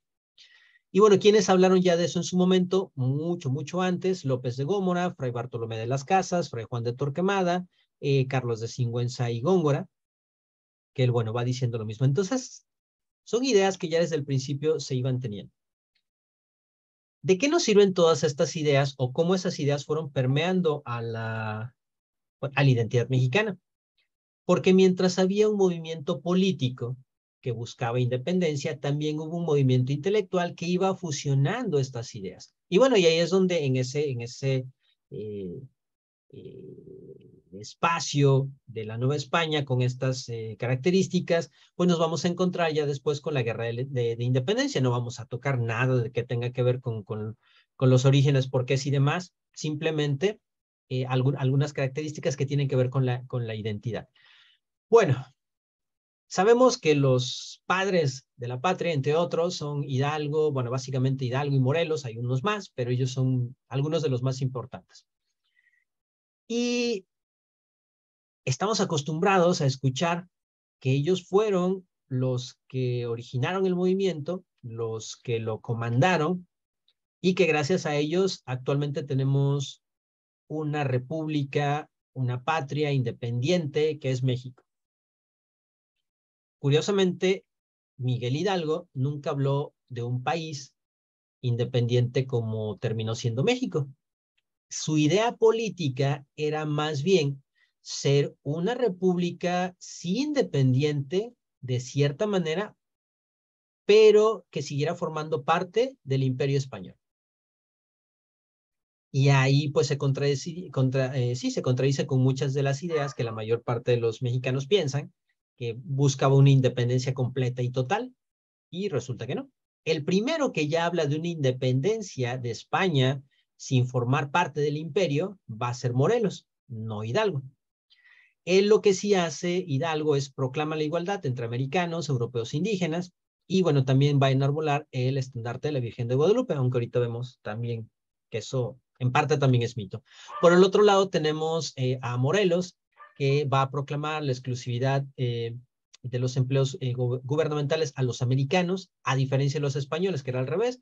Los empleos van a los, a los españoles y no a los criollos. Aquí es todo el americano, tienen los empleos del gobierno y los que no son, los que son extranjeros, al contrario, ya no. Y va a liberar a la población de, eh, de tributos, sobre todo a la población indígena, y también va a decretar la desaparición de la esclavitud.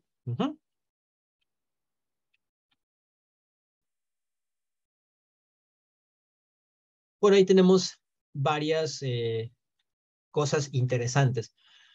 Miguel Hidalgo y Costilla dio el grito, se supone, o a la hora que salió a tocar las campanas, cuando habían descubierto la, eh, que ellos estaban eh, creando un movimiento político en contra de la corona española. Tienen que hacerlo súper rápido, le avisan en la noche, se organizan, salen en la madrugada, todo, toca las campanas del pueblo, junta a la gente y eso sucede el, ah, bueno, más o menos en la madrugada del 16 de septiembre de 1810.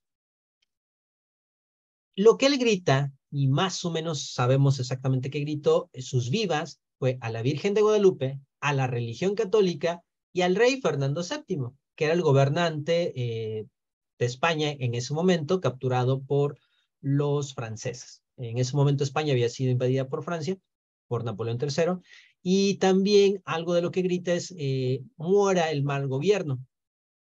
Algunos dicen que incluso gritó eh, de, eh, esto de mueran los gachupines, pero al parecer eso también es un mito.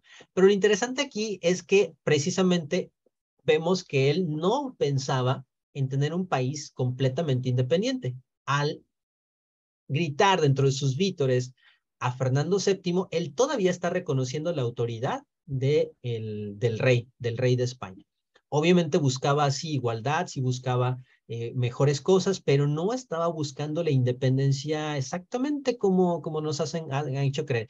Y aquí empezamos a tratar eh, pues estos mitos que la historia nos ha ido eh, dando y que así también como muchas cosas de la historia prehispánica las hemos integrado, unas no, otras, unas sí y otras no, dentro de esta historia última también hay cosas que hemos integrado, pero que no todas son completamente como nos, como nos las cuentan. Por ejemplo, actualmente el grito lo celebramos el 15 y no el 16. Bueno, algunos dicen que el grito eh, se empezó a celebrar el 15 y no el 16 porque el 15 de septiembre era el cumpleaños de Porfirio Díaz. Y eso sí es cierto, Porfirio Díaz cumplía el día 15, que incluso algunos dicen que también él se cambió la fecha porque no hay un acta de nacimiento de él, que él cambió la fecha para ajustarla con la independencia de México. Eso puede ser posible. Pero también nos y esta es una versión que todo el mundo da por hecho, que Porfirio Díaz cambió la fecha de, eh, del grito para que coincidiera con su cumpleaños. Curiosamente, eso tampoco es cierto. Sabemos que desde 1840 los festejos de la independencia se empezaron a dar desde el, eh, desde el 15 de septiembre. Esto es porque muchas festividades, incluyendo las, sobre todo las festividades católicas, se empiezan a celebrar con lo que se le conoce la víspera. Si el día de San Isidro Labrador va a ser el 14, y 14 de mayo, empezamos desde un día antes a celebrarlo. Y bueno, con la independencia es, lo mismo. Si empieza el 16, vamos a empezar a celebrarla desde antes. Entonces, es una tradición eh, muy católica, muy de España, muy de la Nueva España y se copia. Entonces, sabemos que por lo menos eh, la primera fecha que se conmemora un día antes va a ser en 1840. Así que esa parte también es como se le, se le mal atribuye a Porfirio Díaz. Y bueno, básicamente en aquellas épocas la tradición consistía o la celebración era ir a celebrar, pero no en el Zócalo, se celebraba en la Alameda Central, que todavía existe ahí en Ciudad de México. Se hacía una, serenata en la Plaza Mayor. De hecho, ahí hay una pintura donde precisamente se está eh, celebrando. Y quien, bueno, y eh, el día 16 se hace una ceremonia de salvas de artillería y repique general abuelo, así como una ceremonia en la catedral. Y es el emperador Maximiliano quien inició la tradición en 1864 de dar el grito allá en el pueblo de Dolores, en Dolores Hidalgo, para rememorar lo que hizo, eh, pues lo que hizo el cura. Y aquí nos preguntamos, ¿por qué Maximiliano iba a celebrar la independencia de México? Bueno, como sabemos, más allá de que era un invasor, que sí lo era, respaldado por un gobierno eh, extranjero, también tenía muchas ideas liberales y en muchas cosas le gustó eh, le gustaba y reconocía la historia, la historia del proceso político de México y una manera de, congraciarse con el pueblo mexicano, pues es seguir celebrando esta independencia del gobierno español. Y es el primero que él inaugura los, gritos allá en, este, en Guanajuato. Y bueno, ya finalmente Porfirio Díaz lo que sí hace es ordena el traslado de la campana de Dolores al Palacio Nacional en 1896 para que los gritos ya no fueran hasta allá, si no fueran en el Zócalo Capitalino, porque además es donde más concentración de gente hay, y si se va a darlo a Guanajuato, pues allá lo escuchan 10 personas, y en la Ciudad de México lo escuchan 10 mil, y es más popular.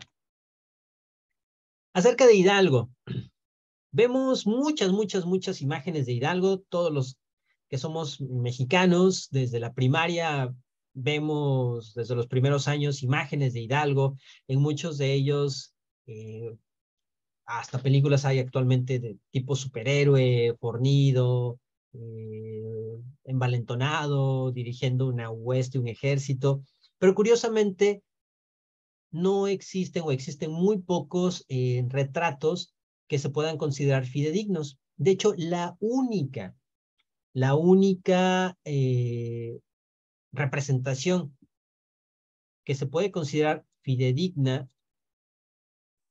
de Miguel Hidalgo es esta. Es una escultura muy pequeñita, está en el Museo de Historia allá en el Castillo de Chapultepec y la realizó Clemente Terrazas, que muestra, bueno, un hombre moreno de nariz ganchuda y el rostro lleno de arrugas, el cual lleva un sombrero de copa, traje y botas de montar.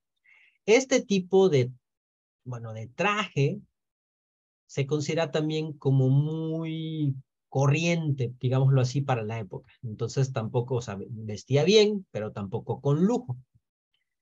Luego tenemos este, que bueno, este se supone que se hizo durante, eh, durante, durante la campaña militar, o sea, que retrata a Hidalgo en el momento de la lucha de independencia.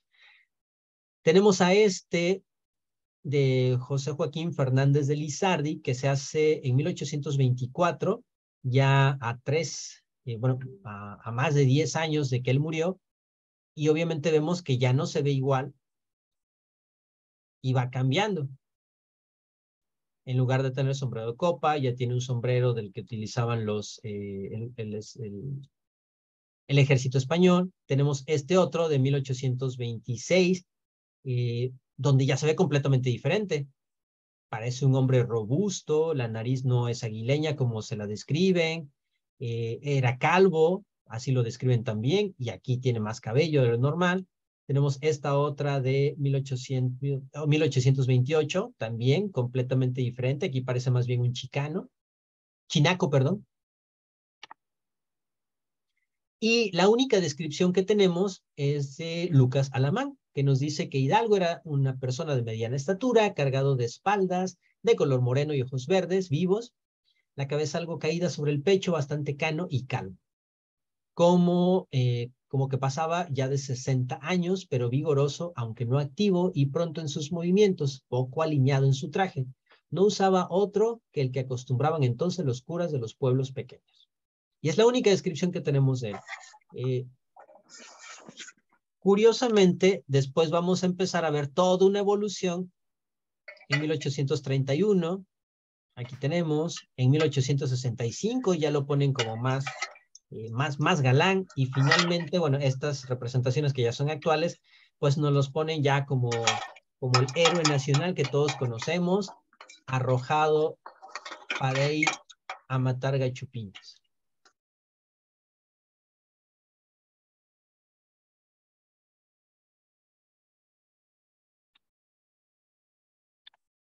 Y bueno, aquí nos damos cuenta que también las historias, las, eh, las figuras públicas también se les va modificando mucho, incluso cómo, cómo se van viendo con el paso, con el paso del tiempo. Algo curioso, cuando en ese momento está la lucha de independencia, bueno, están las, las, las luchas, las, las batallas por la independencia, mm, los españoles, muy curiosamente y muy mañosamente, van a empezar a, sacar, pues como actualmente también se hace en los medios de comunicación, en los periódicos de la época, escritos donde van a comparar a Moctezuma con Fernando VII. Y esto lo van a hacer para ganar las simpatías de, de la población mexicana. Recuerden, les decía, en ese momento Fernando VII fue capturado por los, eh, por los franceses. De ahí que entonces en este, en este eh, momento de inestabilidad todas las colonias americanas empiezan sus luchas de independencia en cascada, incluyendo México, y un poco para eh, tener eh, contentas a la, a la, población mexicana, van a recurrir a la, a, la, a la, figura de Moctezuma, que todavía lo siguen recordando, y van a decir, es que, vean, los españoles llegaron y tomaron a, a Moctezuma cautivo, Ahora los, franceses también tienen cautivo a Fernando VII, los dos fueron gobernantes de este pueblo y otras comparaciones tratando de, de, bueno, simplemente de ganar simpatías. Otra cosa es que también pensamos que normalmente Miguel Hidalgo hizo un ejército de, con criollos, con algunos criollos, con indígenas y con indígenas básicamente eh, y, mestizos para pelear en contra de los españoles. Pero resulta que no fue exactamente así. Los españoles, por ejemplo, también tuvieron dentro de sus filas a indígenas, a mestizos e incluso a, bueno, lo que ya vimos también con este, eh, en una de las clases pasadas, también tuvieron población afrodescendiente dentro de sus filas. De hecho, por ejemplo, aquí tenemos al cuerpo de patriotas voluntarios de Fernando VII, el cual estaba integrado por indios. Y curiosamente estaban desobedeciendo las órdenes del virrey. Ellos eh, decían que estaban defendiendo los intereses del rey de España y estaban luchando en contra de los insurgentes. Aquí tenemos igual otra representación. Entonces, así como ayer vimos que la guerra de castas no fue exactamente una guerra de castas porque no era blancos contra indígenas, sino era dos ejércitos que tenían dentro de sus filas a gente muy, muy variada, pues aquí igual. La bandera, la bandera, la bandera mexicana también ha sido de estas eh, eh, crónicas que nos han contado o mal contado, donde no siempre lo que se, bueno, se nos cuenta obedece la realidad. Normalmente, quienes les decía, sean de mi generación, cuando uno iba a la papelería y pedía, le pedían en la escuela hacer una investigación sobre algo, no había, obviamente no teníamos internet, íbamos a la papelería y pedíamos una monografía sobre cierto tema. Y si ustedes hubieran vivido en los ochentas como yo, hubieran estudiado la primaria en los ochentas como yo, y hubieran ido a la papelería a pedir una monografía sobre la bandera, les hubieran dado esta. Y bueno, está bien. Lo curioso es que en esa versión aparece como primera bandera o un antecedente de nuestras banderas el estandarte virreinal. En la actualidad, esta es una infografía del gobierno mexicano, ya ni de chiste la van a poner, porque eso para la historia oficial no forma parte de nuestra, bueno, de nuestra historia ya como mexicanos. Forma parte de nuestros antecedentes, pero ya no forma parte de, de nuestra historia oficial. Y algunas se van a ir repitiendo, el estandarte de Hidalgo, bandera del generalísimo Morelos, Aquí está también el estandarte, la de Morelos, la, del e, ejército trigarante, nuestro, el primer imperio. Y bueno, se van a ir repitiendo. Tenemos aquí, por ejemplo, vean, la del segundo imperio, la de Maximiliano.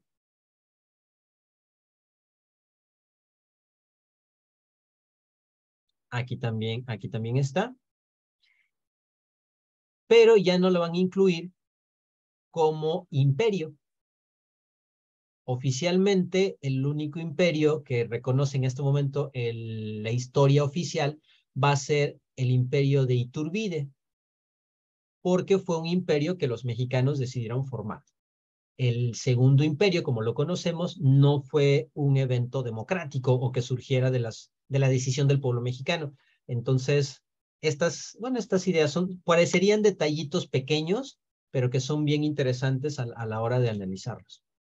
Y bueno, hablando de estos estandartes, normalmente la historia nos ha dicho que cuando Miguel Hidalgo fue a tocar las campanas de, eh, del pueblo donde él vivía, que era Dolores, Dolores Hidalgo, que no se encuentra en Hidalgo, que se encuentra en Guanajuato, es Hidalgo por él.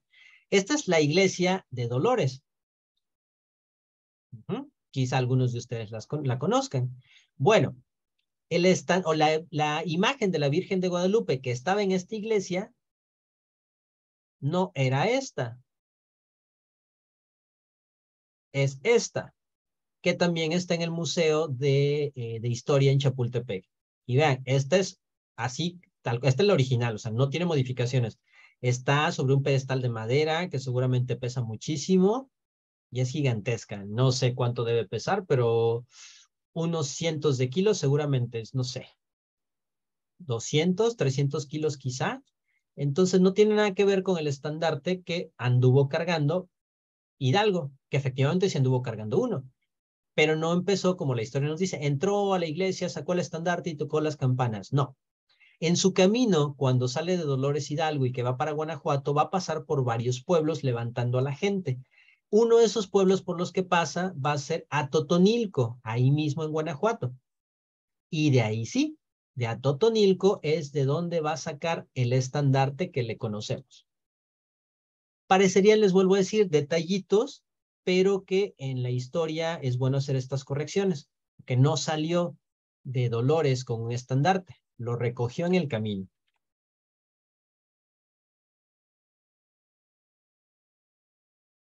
Y bueno, parte de estas mismas curiosidades. Eh, quienes empiezan la lucha de independencia, porque Morelos se, une después, van a ser básicamente los líderes Hidalgo y Allende. Va a haber más personas inmiscuidas, pero ellos van a ser los líderes del movimiento.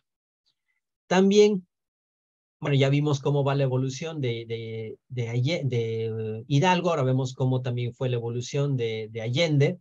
Aquí lo retratan joven, cuando había ingresado al, eh, al ejército español. No se parece en nada a como ya lo retrataron después, como una persona súper heroica, o como esta que es un retrato de la época. Muy seguramente se veía así, y no como aquí lo pintan.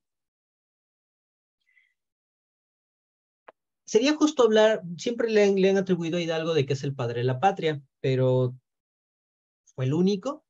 O sea, tenemos también a Morelos, tenemos a, Allende, al mismo Allende, tenemos bueno, a muchos, a muchos otros héroes, ¿no? En el caso de estos dos, que fueron los principales, es muy curioso porque ellos van a empezar la lucha, van a, van a empezar a, mm, a tener sus primeras, sus primeras victorias, pero cuando empiezan a tener, eh, van a empezar a tener algunos problemas entre ellos.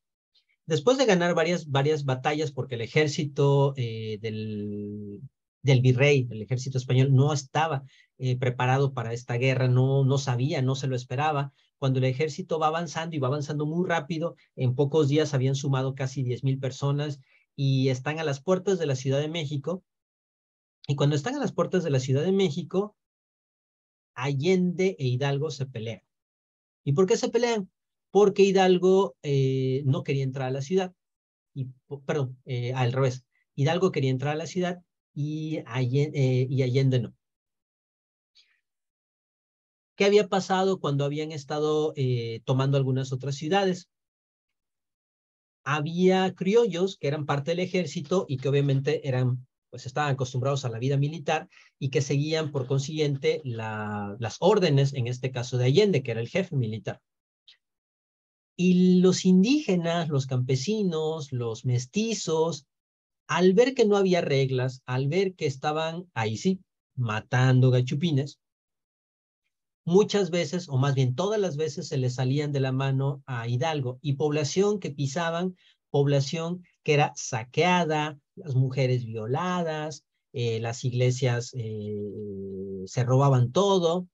Entonces, pues tampoco, de eso no le gustaba mucho Hidalgo, pero tampoco es que lo, lo prohibiera.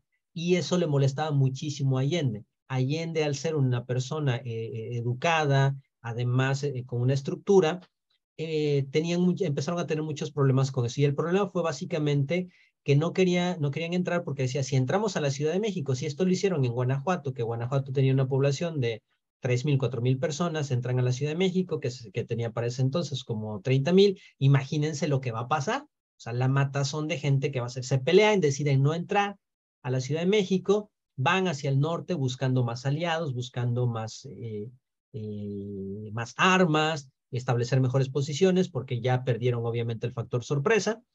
Y en ese camino todavía se van a seguir peleando más e incluso hay versiones que aseguran que Allende trató de envenenar a Hidalgo no en una ocasión, en tres ocasiones. Y hay gente que estuvo presente en, esa, en, esos, en esos momentos como para, asegurar que efectivamente eh, Allende tenía toda la intención de matar a Hidalgo para quitarle el poder, porque Hidalgo era una persona desordenada y, e incluso él lo en algunas, eh, él no lo dejó escrito, pero algunos que algunos personajes que platicaron con Allende y sí dejaron eh, escrito lo que él opinaba, él decía que era una persona que incluso se satisfacía con, y bueno, con, con, estas, con estas acciones que hacía la gente. Quizá era una exageración, quizá no, pero nos muestra también otra, otra, otra moneda de lo que normalmente pensamos de Hidalgo. Y bueno, ellos finalmente, por estas peleas que tienen, se, sepa, eh, se separan, terminan, terminan capturados y bueno, después eh, fusilados. Y seguimos teniendo más personajes dentro de la historia. Cuando Hidalgo, mmm, cuando Hidalgo eh, se separa, bueno, se, se, separa, va, va, sabe que tiene que, que ir al norte para, para juntar más dinero y más armas, pedir incluso ayuda a Estados Unidos. Va a entrevistarse con Morelos, todavía cuando están empezando. A Morelos le va a encargar que lleve la insurrección al sur. Y hasta ahí. El heredero, eh, de facto, se convirtió él, pero él no tenía que ser quien comandara la lucha. Este señor que vemos aquí a la derecha, Rayón, él era su secretario particular, también había sido parte del ejército español, también tenía educación militar. Cuando eh, son capturados los líderes por rango, a quien le correspondía llevar la jefatura del ejército eh, insurgente era a este señor, a López Rayón. Como ya habían entrado en ese momento también a pelear otros personajes, aquí tenemos a Vicente Guerrero y a Guadalupe Victoria, ellos van a pelearle la jefatura del movimiento a López Rayón. Y entonces vemos también que los, el ejército insurgente no era un ejército unificado que estuviera peleando en contra de los españoles. Al mismo tiempo que estaban peleando con los españoles, todavía se daban tiempo de pelearse entre ellos para ver quién se quedaba con el poder algo que le suene parecido a, a la actualidad. Bueno, como sea, Morelos se quedó con, con, eh, el puesto. Aquí otra vez les pongo las, eh, eh, las evoluciones de la figura histórica. Vean, sabemos que, que Morelos, como ya, como ya vimos hace un par de clases, que pertenecía a la población afrodescendiente, igual que, que Vicente Guerrero. O sea, vean cómo o sea, se les representa morenos con un moreno muy pronunciado, el cabello, el cabello crespo, igual. De hecho, eh, muchos, o los, los cronistas de la época plantean que Morelos, de hecho, usaba paliacate, ese tan famoso paliacate, precisamente para esconder el cabello eh, crespo, el cabello chino que tenía, y que además era motivo de burla. Entonces, de ahí, de ahí el paliacate, por si se habían preguntado por qué usaba. Entonces, aquí tenemos esta imagen precisamente donde puede responder más a una imagen real, donde lo van poniendo más, más guapo. Y bueno, aquí, no, aquí ya de plano es de ojo, de, ojo medio, medio amarillito y hasta blanco. O sea, y le cambiaron el cabello, ya no es crespo. Entonces vean también cómo, cómo se van pues maquillando, eh, modificando estas historias nacionales a, a, gusto, dependiendo, dependiendo la época. Y algo también, un dato curioso, tenemos aquí a Juan Nepomuceno Almonte. Se supone que Morelos era un cura, pero bueno, como, tanto como en aquellas fechas como ahora, pues el celibato no se les da muy bien a algunos. Y tuvo un hijo, eh, fue obviamente fuera de matrimonio, eh, que es este personaje, Juan Nepomuceno Almonte, que mientras él está peleando, eh, lo va a mandar a Estados Unidos a que aprenda inglés, a que aprenda francés, a que estudie. Eh, su hijo estando allá se va a enterar de que, de que, de que él murió, se va a quedar en, en, en, Estados Unidos, después va a regresar cuando México ya es independiente y se va a integrar a, la a las filas eh, liberales. Por problemas políticos, finalmente termina en el bando conservador y va a ser uno de los personajes más importantes y uno de los personajes, de hecho, que van a buscar a Maximiliano para que encabece el gobierno eh, en, México. Aquí hay un video de YouTube que, les puse porque se me hace como muy, muy curioso. Ya aquí hay registro eh, tanto musical como, eh, bueno, como obviamente de escritura de algunas cosas que se cantaban en la época. Obviamente esta grabación, obviamente es, nueva, pero habla de, la época y de estos dos personajes. Entonces se las quiero poner también para que se den una idea de cómo pues bueno, así como ahora hay canciones que se burlan de, de, parodias, que se burlan de los políticos, en esa época ya también existieron.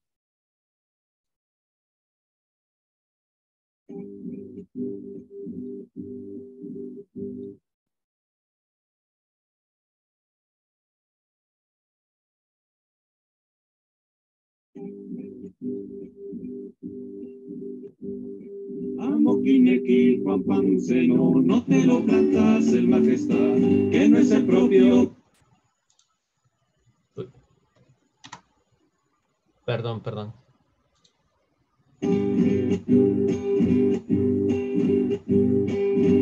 Amoquineki, Juan Panuceno, no te lo plantas el majestad, que no es el propio manto y corona, que to guarache, que to. El Tatacura que te dio vida, murió enseñando la libertad, que era insurgente muy decidida y que fue coco del majestad. Corriendo el tiempo fraque, comió bistec. Indio ladino vende a tu patria y guiri guiri con el francés. Amoquineki, Juan Panuceno, no te lo plantas el majestad, que no es el propio manto y corona, que to guarache, que to guacal. Al rey de Francia vio Pamuceno y Pagrecito le dijo luego, voy y te vende carbón de entrego del mexicano so gran suidad. Lo chequetito se come crudo, jurta franceses que es compasión. A lo marido vuelve cornudo, manda mi tierra seré reyón. Amoquineki, Juan Pamuceno, no te lo plantas el majestad, que no es el propio manto y corona, que to guarache, que to guacal.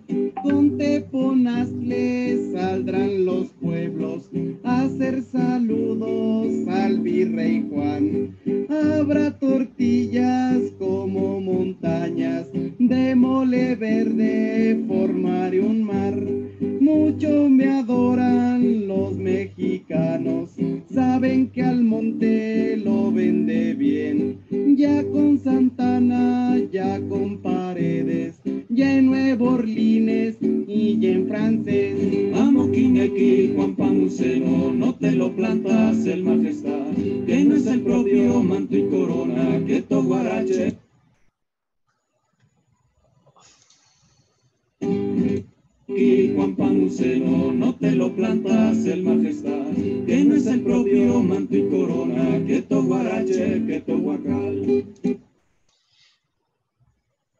ahí le vamos a, a dejar porque se repetía, no, no sé por qué.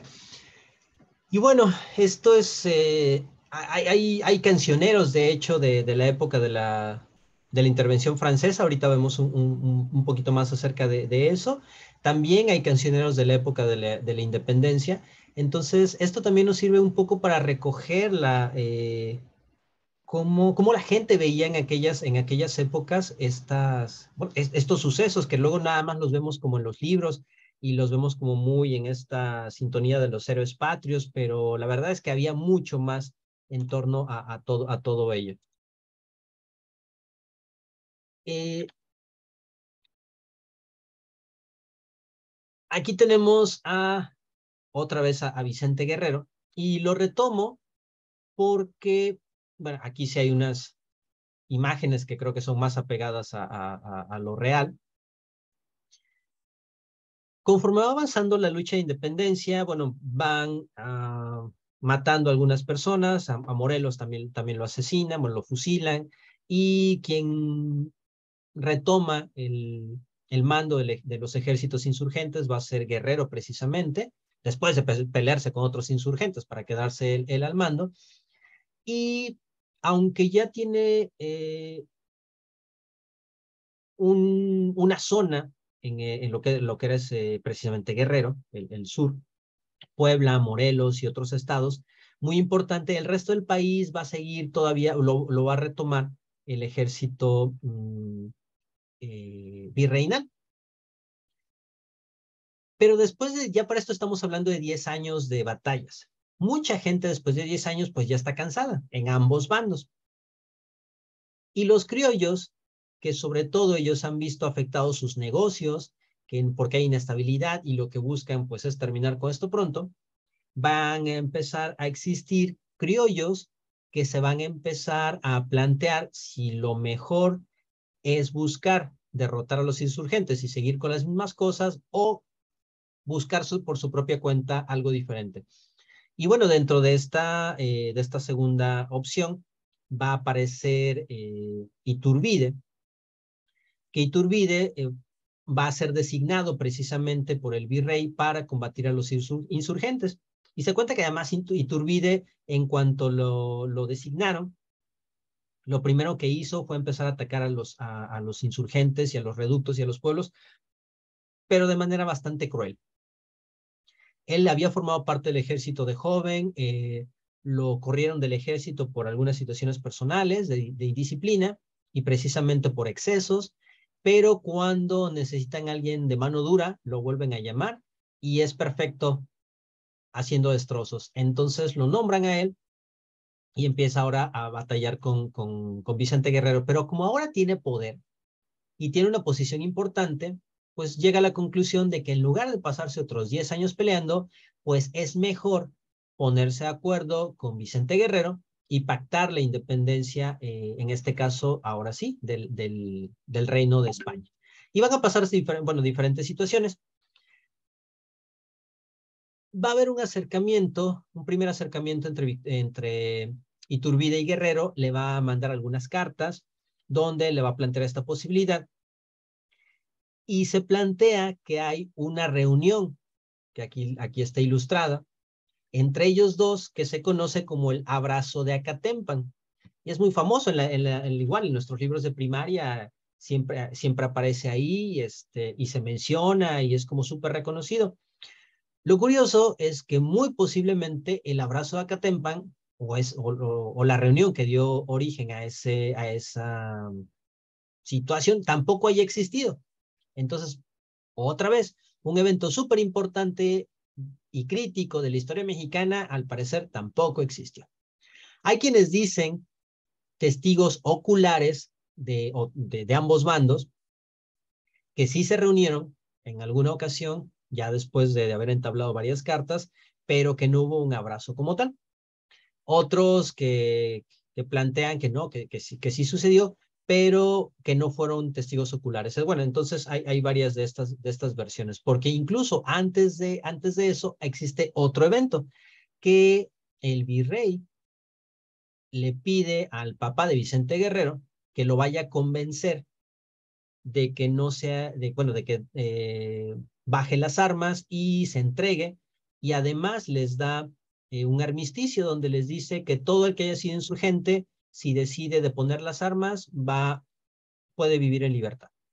Entonces, la, igual la leyenda nacional dice que el papá de Vicente Guerrero va a buscarlo, le trae el recado de, del virrey, le dice que, eh, que tome las, se hinca incluso y le abraza las piernas para pedirle que, que tome esta opción. Y hay una frase eh, monumental de, de, de Guerrero que le dice, no, la patria es primero. Y otra vez igual, no hay constancia de que, esa, de que eso haya sucedido exactamente como dicen y de que él haya dicho esa frase. Pero bueno, les digo, son de estas, de estas partes otra vez de la historia que siguen, que siguen ahí. Vamos a apurarnos un poquito para, para tratar de ver algunos casos más. Bueno, aquí arriba está Iturbide, aquí vuelve a aparecer. Parte de estas negociaciones van a ser eh, bueno, que Iturbide esté pensando cómo, cómo puede hacer, porque por un lado sigue siendo parte del ejército eh, virreinal, pero ya está en tratos con Guerrero. Y obviamente esto no se tiene que enterar del virrey, que además el virrey es un tipo igual que él, es bastante canijillo. Entonces, en esas andan. Y como las cosas no se dan como el rey quiere, va a destituir al virrey que estaba en ese momento, el virrey Calleja, que también tenía bastante fama de sanguinario, fue de hecho el que capturó a, Morelos y a, Allende y a Hidalgo y los mandó matar a todos. Bueno, lo destituyen y van a poner a este señor, Juan O'Donoghue. Juan O'Donoghue, que además no es español, español, español, tiene ascendencia eh, irlandesa. Lo van a nombrar él va a llegar a México, pero en cuanto llega a México, en cuanto llega a Veracruz, Iturbide le va a mandar eh, mensajes diciéndole cuál es el plan. Que el plan es declararse independiente y lo invita a formar parte del gobierno.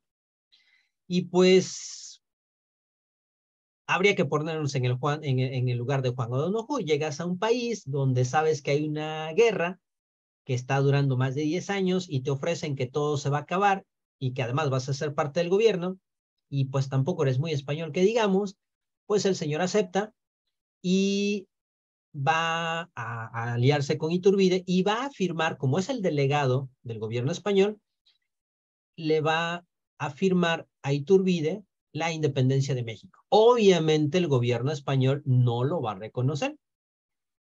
Y lo más curioso, en cuanto esto sucede, pues van a considerar que ya pues el trato está hecho, entonces un montón de gente, de gente del ejército eh, de la Nueva España, del ejército virreinal, se va a pasar al ejército que ahora es nacional, que ahora es un ejército mexicano.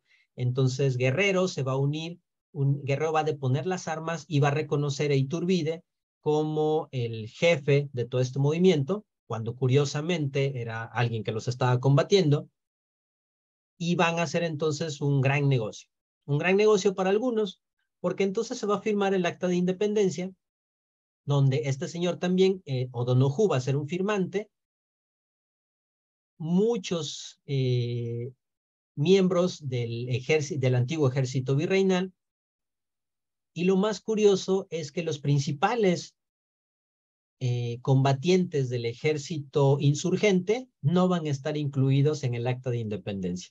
Guerrero, sobre todo, no va a pintar, ni siquiera ahí. Siento que gracias a él es que esto se logra consumar, pero bueno, son también de estas cosas de la, de la, que tiene la historia de no reconocer a la gente que sí debería.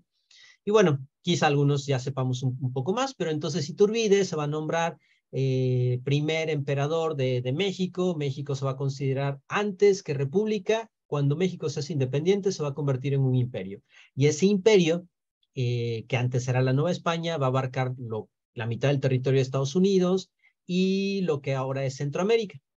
Ya después va a haber divisiones y lo que quieran, pero todo, todo eso va, va a incluir. Finalmente va a ser, eh, pues no les gusta a los políticos mexicanos los excesos que tiene, va a cometer diferentes errores, lo van a destituir, lo corren del país y va a tener, bueno, obviamente va a tener descendientes. Lo más curioso, y por eso se los pongo aquí de este lado, sus descendientes viven hasta la actualidad. aquí están sus descendientes, bueno, algunos de ellos. Cuando va a llegar Maximiliano, que va a ser también un, pues otro emperador, como él además no puede tener hijos, no sabemos exactamente quién no podía tener hijos, si Maximiliano o Carlota, pero la cosa es que no pueden tener hijos, ellos van a adoptar a la familia, a los nietos, si no mal recuerdo, de Agustín de Iturbide. Y entonces es, bueno, yo soy emperador y eh, adopto a los hijos de otro emperador y entonces ya somos una casa real mexicana. Finalmente sabemos que son derrotados, que, que, Maximiliano es, es fusilado, pero esa casa real mexicana hasta la fecha sigue existiendo. Estos son los herederos de la realeza mexicana. Maximiliano Gotzen Iturbide, su esposa y sus hijos, que viven obviamente en Europa y que además son reconocidos por la, este, por la realeza europea como los descendientes de la realeza mexicana, aunque obviamente no tengan ningún cargo de, de poder. Pero es otra de las curiosidades que, que tenemos en el país. Por un lado están pasando esas cosas que tienen que ver con la política, pero les dije, mientras está lo político, también está la otra parte, lo intelectual, lo, lo cultural. Y bueno, mientras ellos van haciendo estos movimientos, hay gente que detrás de ellos también dice, bueno, ¿cómo vamos a crear este nuevo país? En el caso de Morelos, eh, va a publicar lo que son los sentimientos de la nación, que es el primer antecedente a una eh, constitución, va a decretar abolida la esclavitud, va a decir, eh, va a no hablar de México, va a hablar del Anáhuac, pero recuerden que el Anáhuac solamente se refiere a esa tierra que formaba la antigua cuenca de, de México lo que ahora es el Valle de México. Entonces, ya desde ahí, el simplemente retomar la palabra anáhuac nos hace referencia a algo que solamente tiene que ver con los aztecas, con los mexicas. Y de ahí se van a empezar a retomar más mitos, pero solamente del centro del país. Y eso es muy curioso. México tiene un escudo que es, ya vimos, el águila, pero todo esto hace referencia solamente a un grupo. ¿Y qué pasó con los mayas? ¿Y qué pasó con los toltecas y los teotihuacanos? Bien, gracias.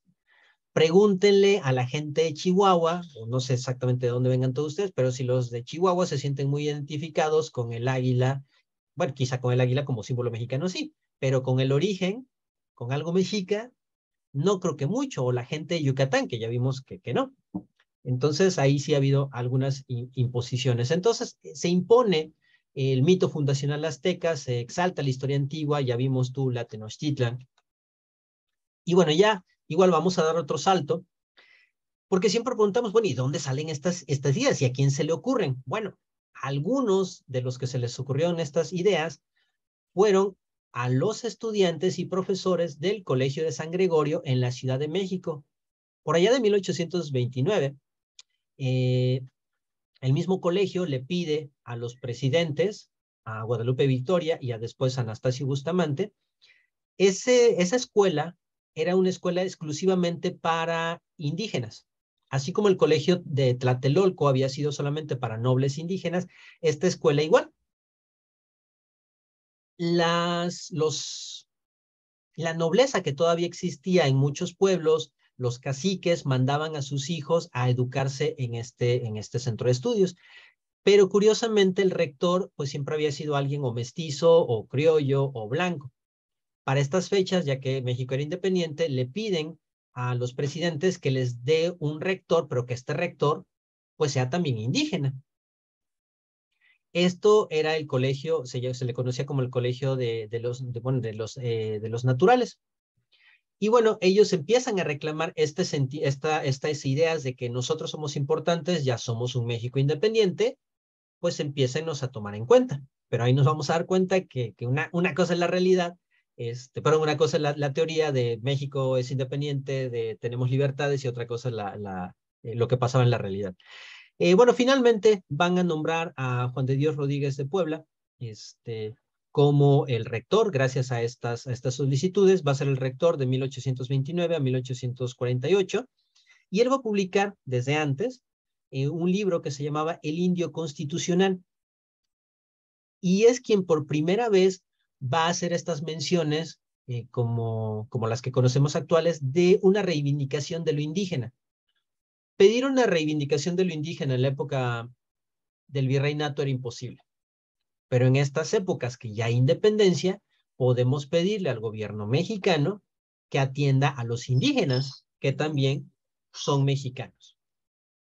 Y va a defender precisamente lo indígena en contra de, bueno, de esta igualdad que querían también aquellos gobiernos. La idea de ser mexicano en aquellos momentos era de todos vamos a ser iguales y a los indígenas hay que hacer que se conviertan en mexicanos. Esa era la idea de nacionalidad en aquellas épocas. Y bueno, estas ideas van a tener todavía más, eh, más impulso porque va a haber algunos personajes, en este caso tenemos a José Guadalupe Perdigón Garay, que era un abogado, pero que se le conocía como el, el abogado del pueblo. Y él eh, le gustaba precisamente ayudar a las causas de los, de los eh, pueblos eh, indígenas de la época, en contra del gobierno o en, contra de otros particulares. Y obviamente no lo hacía de gratis. Lo hacía porque normalmente como era muy bueno y ganaba, ganaba pleitos, eh, los pueblos, en lugar de pagarles con oro, que a veces no, no había, o plata, le pagaban con tierras. Y entonces, obviamente, pues también, también de ahí sacaba, de, ahí, de ahí sacaba obviamente sus dividendos. Pero él empieza a ser, eh, ya que era muy conocido, él empieza a exaltar a una figura en particular, lo tomaba como modelo y decía que era un modelo a seguir. Lo más curioso es que este modelo a seguir era un soldado, que era Felipe Santiago Xicotencat, que ya desde el apellido, el Xicotencat, pues ya es, para empezar, ya es Nahua, y nos recuerda a Xicotencat de Tlaxcala, y efectivamente, lleva el apellido porque él también venía de Tlaxcala y era de origen Nahua. Él es uno de los principales defensores del castillo de Chapultepec, muere en la batalla y entonces este abogado, eh, que era muy conocido y, era como, no sé, como un, una celebrity de aquella época, por decirlo así, eh, él habla siempre a, favor de él. Entonces, aunque él no es indígena, tiene un discurso a favor de los indígenas. Y entonces estas ideas empiezan a tener todavía más fervor. Otro ejemplo es que en 1835, eh, bueno, cuando Tenochtitlan cae en manos de los, de los españoles, la van a dividir en algo que le, bueno, después se le conoció como parcialidades. Todavía para 1835 había algunas de estas parcialidades que existían. Una era la de San Juan Tenochtitlan y la de Santiago Tlatelolco. Los señores antiguos todavía decían, estas eran mis tierras y hasta aquí llegaban mis terrenos y estos son míos. Pues en esas épocas estos dos, eh, estas dos parcialidades empiezan a tener problemas entre ellos. Como sabemos que en los pueblos hay muchas de por, por tierras, que si mis límites llegan hasta aquí, no son hasta allá, y entonces esas cosas. Y para, en el caso de los de San Juan Tenochtitlán, que eran los que les correspondía el antiguo centro de la ciudad, ellos van a empezar a exaltar la figura de Cuauhtémoc para decir, es que nosotros somos descendientes de Cuauhtémoc y entonces como somos descendientes de él y él fue el último que defendió a los mexicas y a México, entonces necesita, bueno, estas tierras nos pertenecen.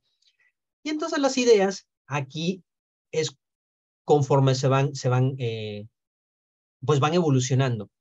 De lo indígena, que en la época virreinal no pintaba para nada, aquí hay un resurgimiento, gracias a que por un lado está habiendo avances en política, avances en la ciencia, pues la gente también va ocupando esto, lo va bajando a, a, un discurso popular con la gente común y lo va utilizando para también, eh, en este caso, defender sus derechos.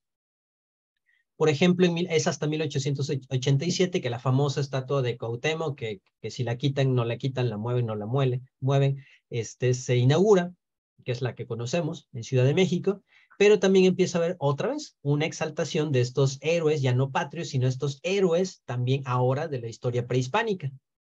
La estatua es un ejemplo y vean obviamente las, las ilustraciones que se hacen de él, ¿no? O sea, ya parece un Avenger. Y bueno, esta identidad, cómo se va también transformando, porque había por un lado liberales, pero también había conservadores y todos, todos abundaron a, este, a esta construcción de la identidad. Tenemos a Carlos María de Bustamante, él va, él era muy conservador, muy conservador de hecho, y él va, pero él va a escribir varios de los libros que nos han servido durante décadas a los investigadores para saber qué pasaba en el México antiguo. Tenemos aquí una lista de algunos de los que hizo. Eh, Galería de los de Antiguos Príncipes Mexicanos, Aparición de la Virgen de Guadalupe, eh, primera edición de la Historia General de las Cosas de la Nueva España de Sagún y las Crónicas de Fernando Alba Istlizochil. Unos libros súper, los anteriores importantes, pero estos dos últimos súper importantes. Y más la historia general de las cosas de la Nueva España.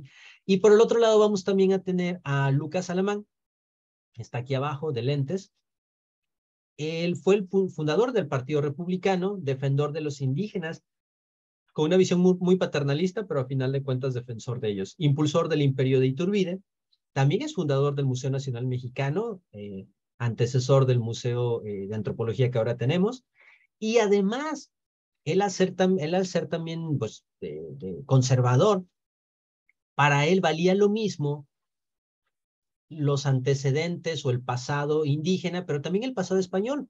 Obviamente él también tenía descendencia española en, la sangre. Y él, de hecho, como era abogado, va a administrar los, los, los bienes de los descendientes de Cortés en, en México, que para ese entonces no eran nada, nada despreciables. Y no solo eso, va a ser el responsable de que los restos de Cortés no se hayan, no se hayan desaparecido. Quizá por ahí han escuchado hablar de, bueno, de Santana, no, no, vamos a hablar de él ahora, pero de Santana en una batalla perdió una, una pierna, eh, gracias a un cañonazo, la pierna la recuperó, la embalsamaron, le hicieron un funeral como si hubiera, si hubiera eh, muerto un presidente, un funeral de Estado, y en algunas de las revueltas que en esas épocas hubo en México, eh, la, la chusma, como le llamaban en ese entonces al pueblo, entraron al mausoleo donde estaba la pierna de, de Santana, la sacaron y la tiraron por la calle, la patearon y se desapareció la pierna. Pues en esa misma época que andaban quemando todo y que lo español nadie lo quería, Lucas Alamán pensó, los restos de Cortés les van a hacer lo mismo, hay que guardarlos. Y esa es una, una, una microhistoria pequeña, pero se las quiero contar. Eh, bueno, Cortés muere en España, pero en su testamento él decía que quería ser enterrado en México, en, un, en una iglesia que él mandó a construir en Coyoacán, que nunca se hizo, entonces pues no, no lo enterraron allá. Eh, sus descendientes trajeron sus restos a México y lo enterraron en eh, esta iglesia, la iglesia de Jesús Nazareno, que está ahí en República del Salvador, en Ciudad de México, ya que no, no se hizo la iglesia que él había mandado a hacer, bueno, por lo menos una que sí ayudó a construir. Cuando Lucas Alamán se da cuenta de que hay estas revueltas y que todo mundo está en contra de los españoles y que estos restos pueden ser destrozados, él va a esconder los restos aquí. En la nave principal va a ser un huequito, los va a enterrar en esta eh, urna que está hecha de plata y vidrio, los va a esconder con unas notas y pues ahora sí como, como película de espías. Va a, decirle a todos en México que para evitar destruirlos, mandó los restos de Cortés a España con los descendientes de su familia. Iba a escribir cartas al gobierno también este, eh, español y a todo mundo para informar que los restos de Hernán Cortés se van a España a descansar. Pero en lugar de mandarlos a España, los esconde ahí y manda una carta única a la embajada española donde cuenta la verdad donde dice, no, los restos de Cortés los escondí por esta situación y si algún día quieren encontrarlos, aquí están. Es hasta 1940 y tantos que esta, eh, que esta carta es encontrada y efectivamente van a verificar que los restos de Cortés estén ahí y los encuentran. Y desde entonces, eh, bueno, se, se limpiaron, se hicieron algunos estudios se volvieron a guardar en el mismo lugar y ahora lo único que hay es esta placa.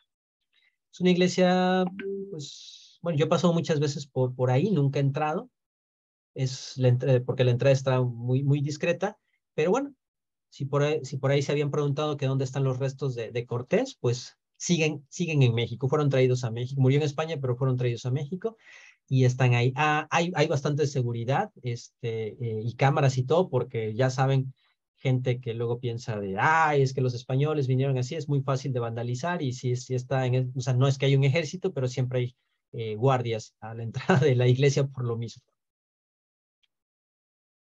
Y bueno, parte de estas, eh, estas cosas que seguimos viendo, pensamos que cuando llegó eh, Maximiliano era un invasor, y sí, obviamente, formaba parte de un, de un, gobierno invasor, pero hubo cosas también que hizo, que hizo bien. Por ejemplo, eh, lo que veíamos esto del, del, Colegio de San Gregorio, donde estudiaban los indígenas, también, por ejemplo, les, eh, les, ayudó a, en, en, en, todas las tareas que, que, querían hacer y en esta eh, reivindicación de lo indígena. Eh, crearon hospitales eh, especiales para indígenas, como que le preocupaba mucho esto, esto que tenía que ver con el pasado.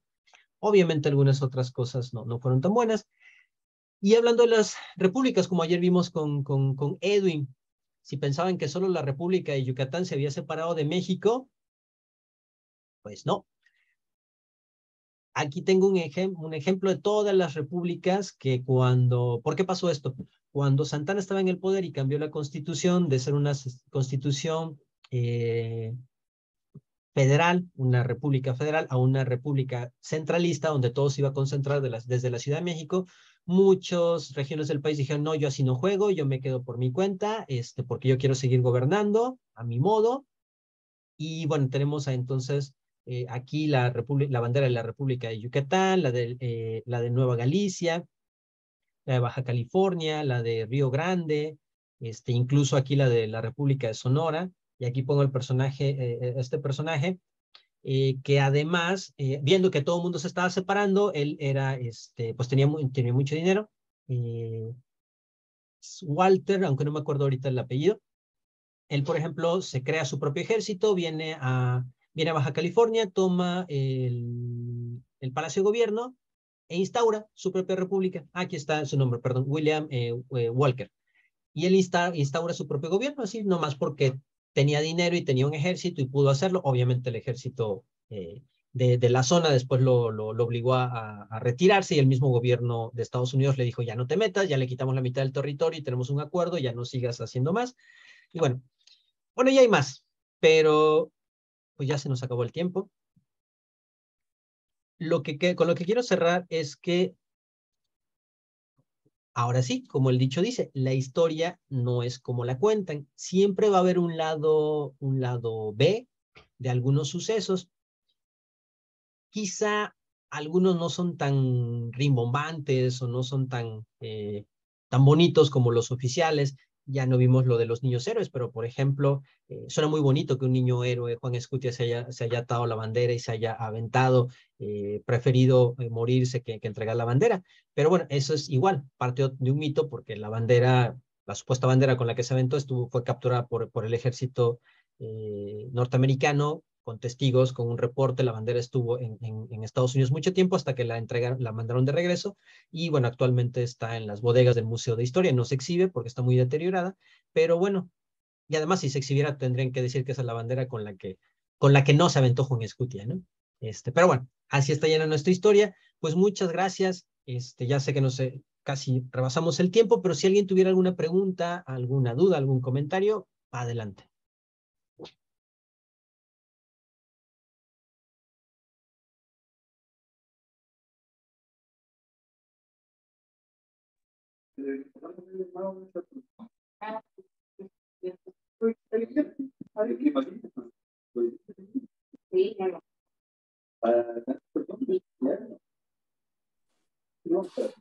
Bueno, Hugo, yo sí quiero hacer un comentario.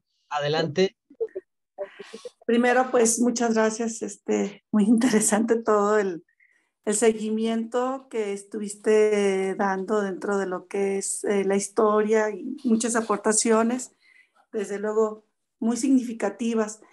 Pero bueno, eh, hay tantas cosas que yo quería comentar que mejor preferí escuchar porque estaban tan, tan interesantes y tan importantes, pero entre las cosas que comentaste o que dijiste respecto a los descubrimientos que se empezaron a hacer desde la época prehispánica, y de la importancia eh, que, buscaban los criollos. En el caso de Morelia, lo que era en aquellos tiempos Valladolid, eh, se construyó un barroco muy particular que le llamó una historiadora como barroco tablerado, precisamente por, ella ha argumentado que era precisamente por las aportaciones que hizo Teotihuacán. Entonces, cuando tú lo comentabas, yo, yo lo estaba, lo estaba recordando, ¿no?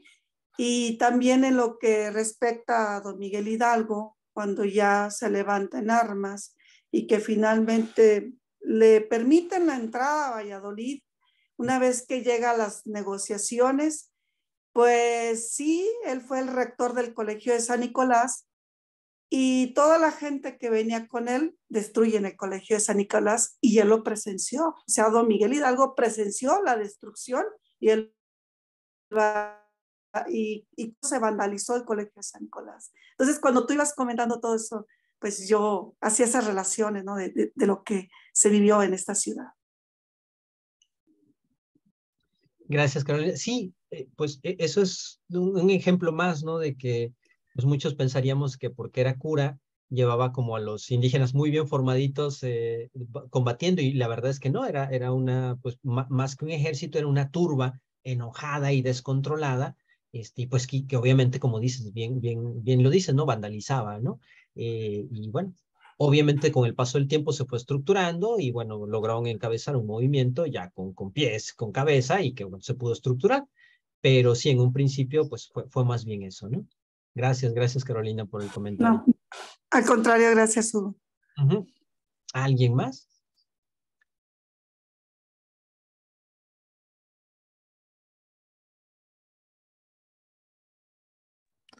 Sí, eh, eh, ¿qué tal Hugo? ¿Cómo estás?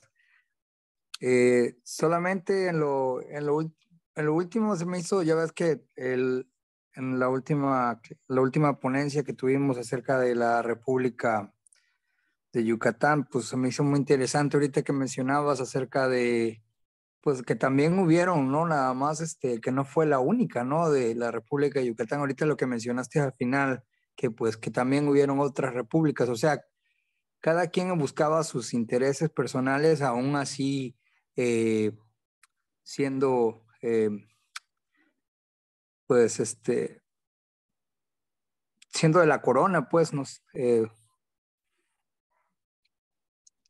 Sí, mira, aquí la cuestión es que estos, bueno, si ya cuando vean la, la presentación van pueden, pueden hacer la comparación. Estas repúblicas inde- independientes casi coincidían exactamente con los antiguos reinos que formaron parte de la, de la Nueva España. El, el reino de la Nueva Galicia, precisamente, este es un- uno de ellos, porque cuando, bueno, eh, la- o sea, la Nueva España estaba conformada por reinos eh, o capitanías generales. Recuerden que la Nueva España, incluso eh, Filipinas era parte de la Nueva España, este, toda, todo el Caribe mexicano, todo el Caribe también era parte de, de la Nueva España.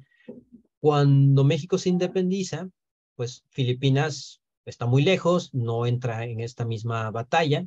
eh, las islas del Caribe tampoco, de hecho son las últimas que tanto Filipinas como, las islas, y sobre todo Cuba, van a ser los últimos territorios de ultramar de los españoles, por lo mismo, porque están aislados. Y a los mexicanos, pues, como que no tienen mucha injerencia allá, ¿no?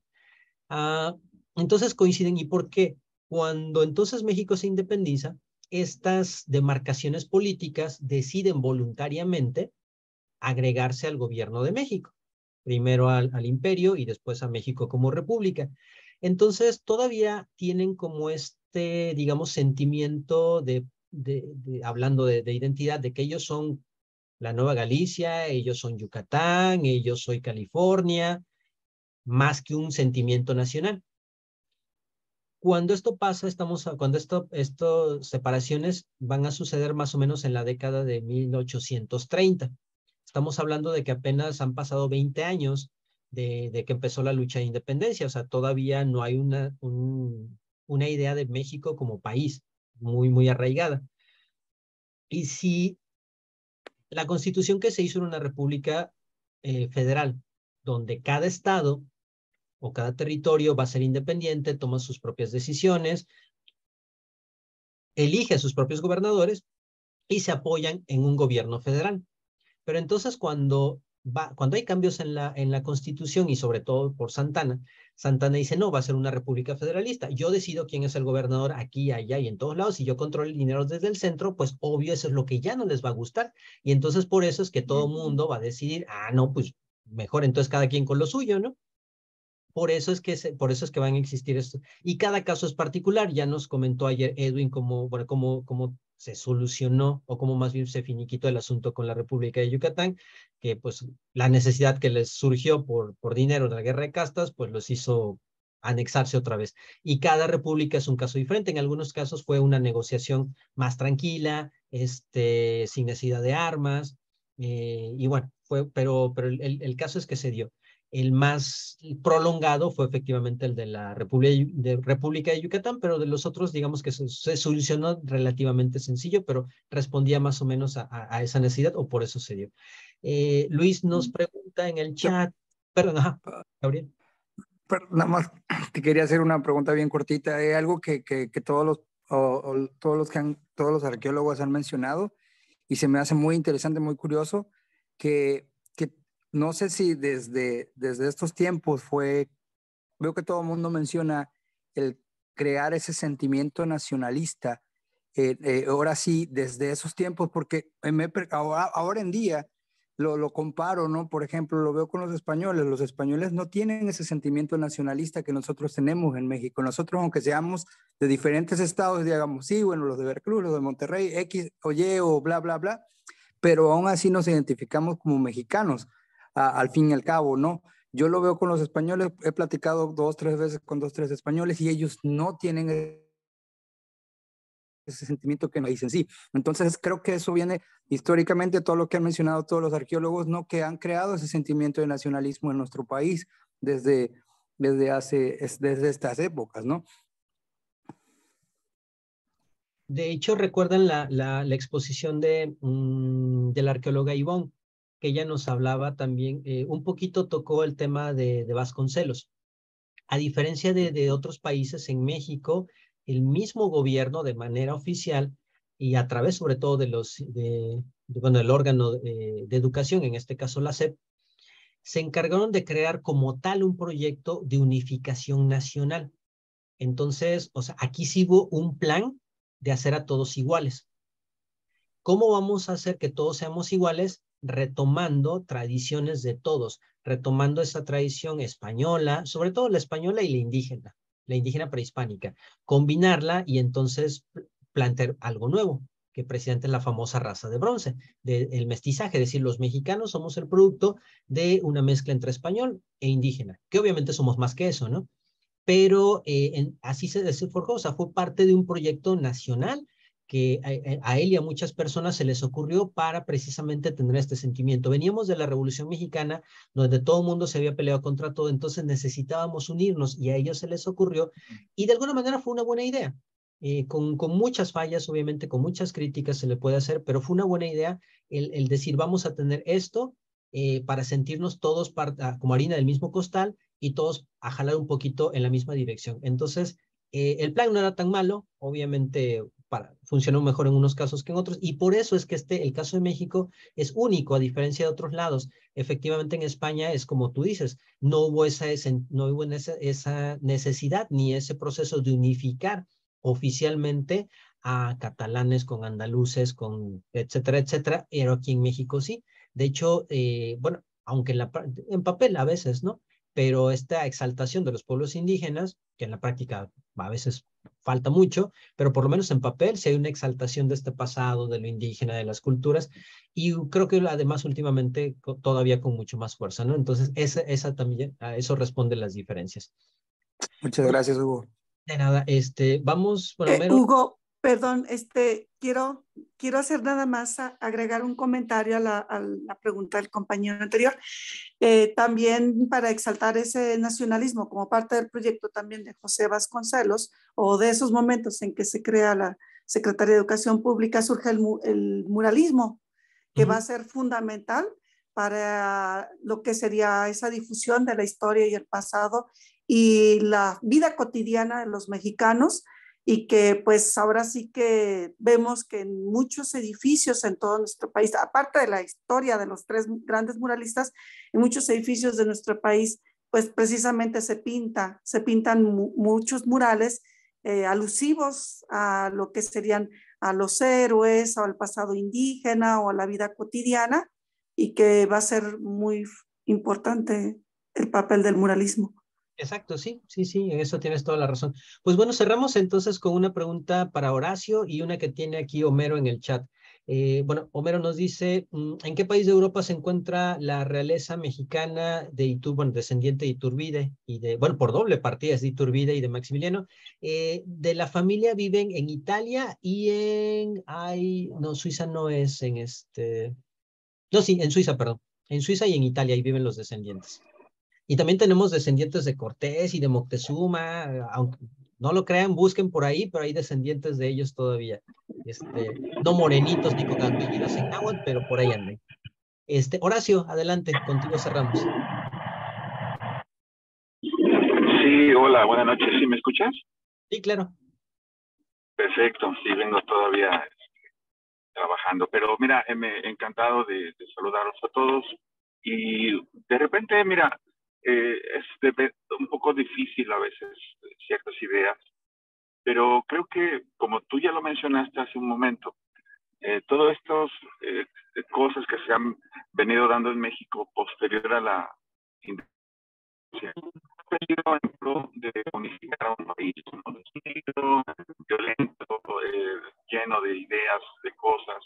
Sin embargo, creo que uh, hoy en día podemos ver los frutos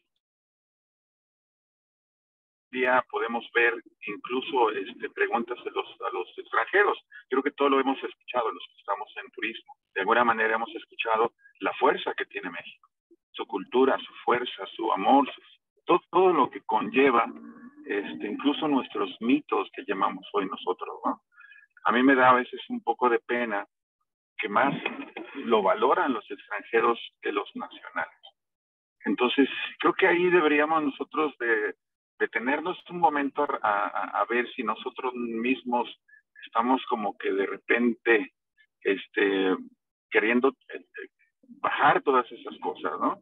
Que eh, realmente son buenas, han funcionado. Digo, no hay ningún imperio, ninguna gran nación sin gran nacionalismo. Te lo puedo decir desde Roma, eh, griegos, eh, ve tú cualquier imperio se basa en un gran nacionalismo, en su amor a su tierra.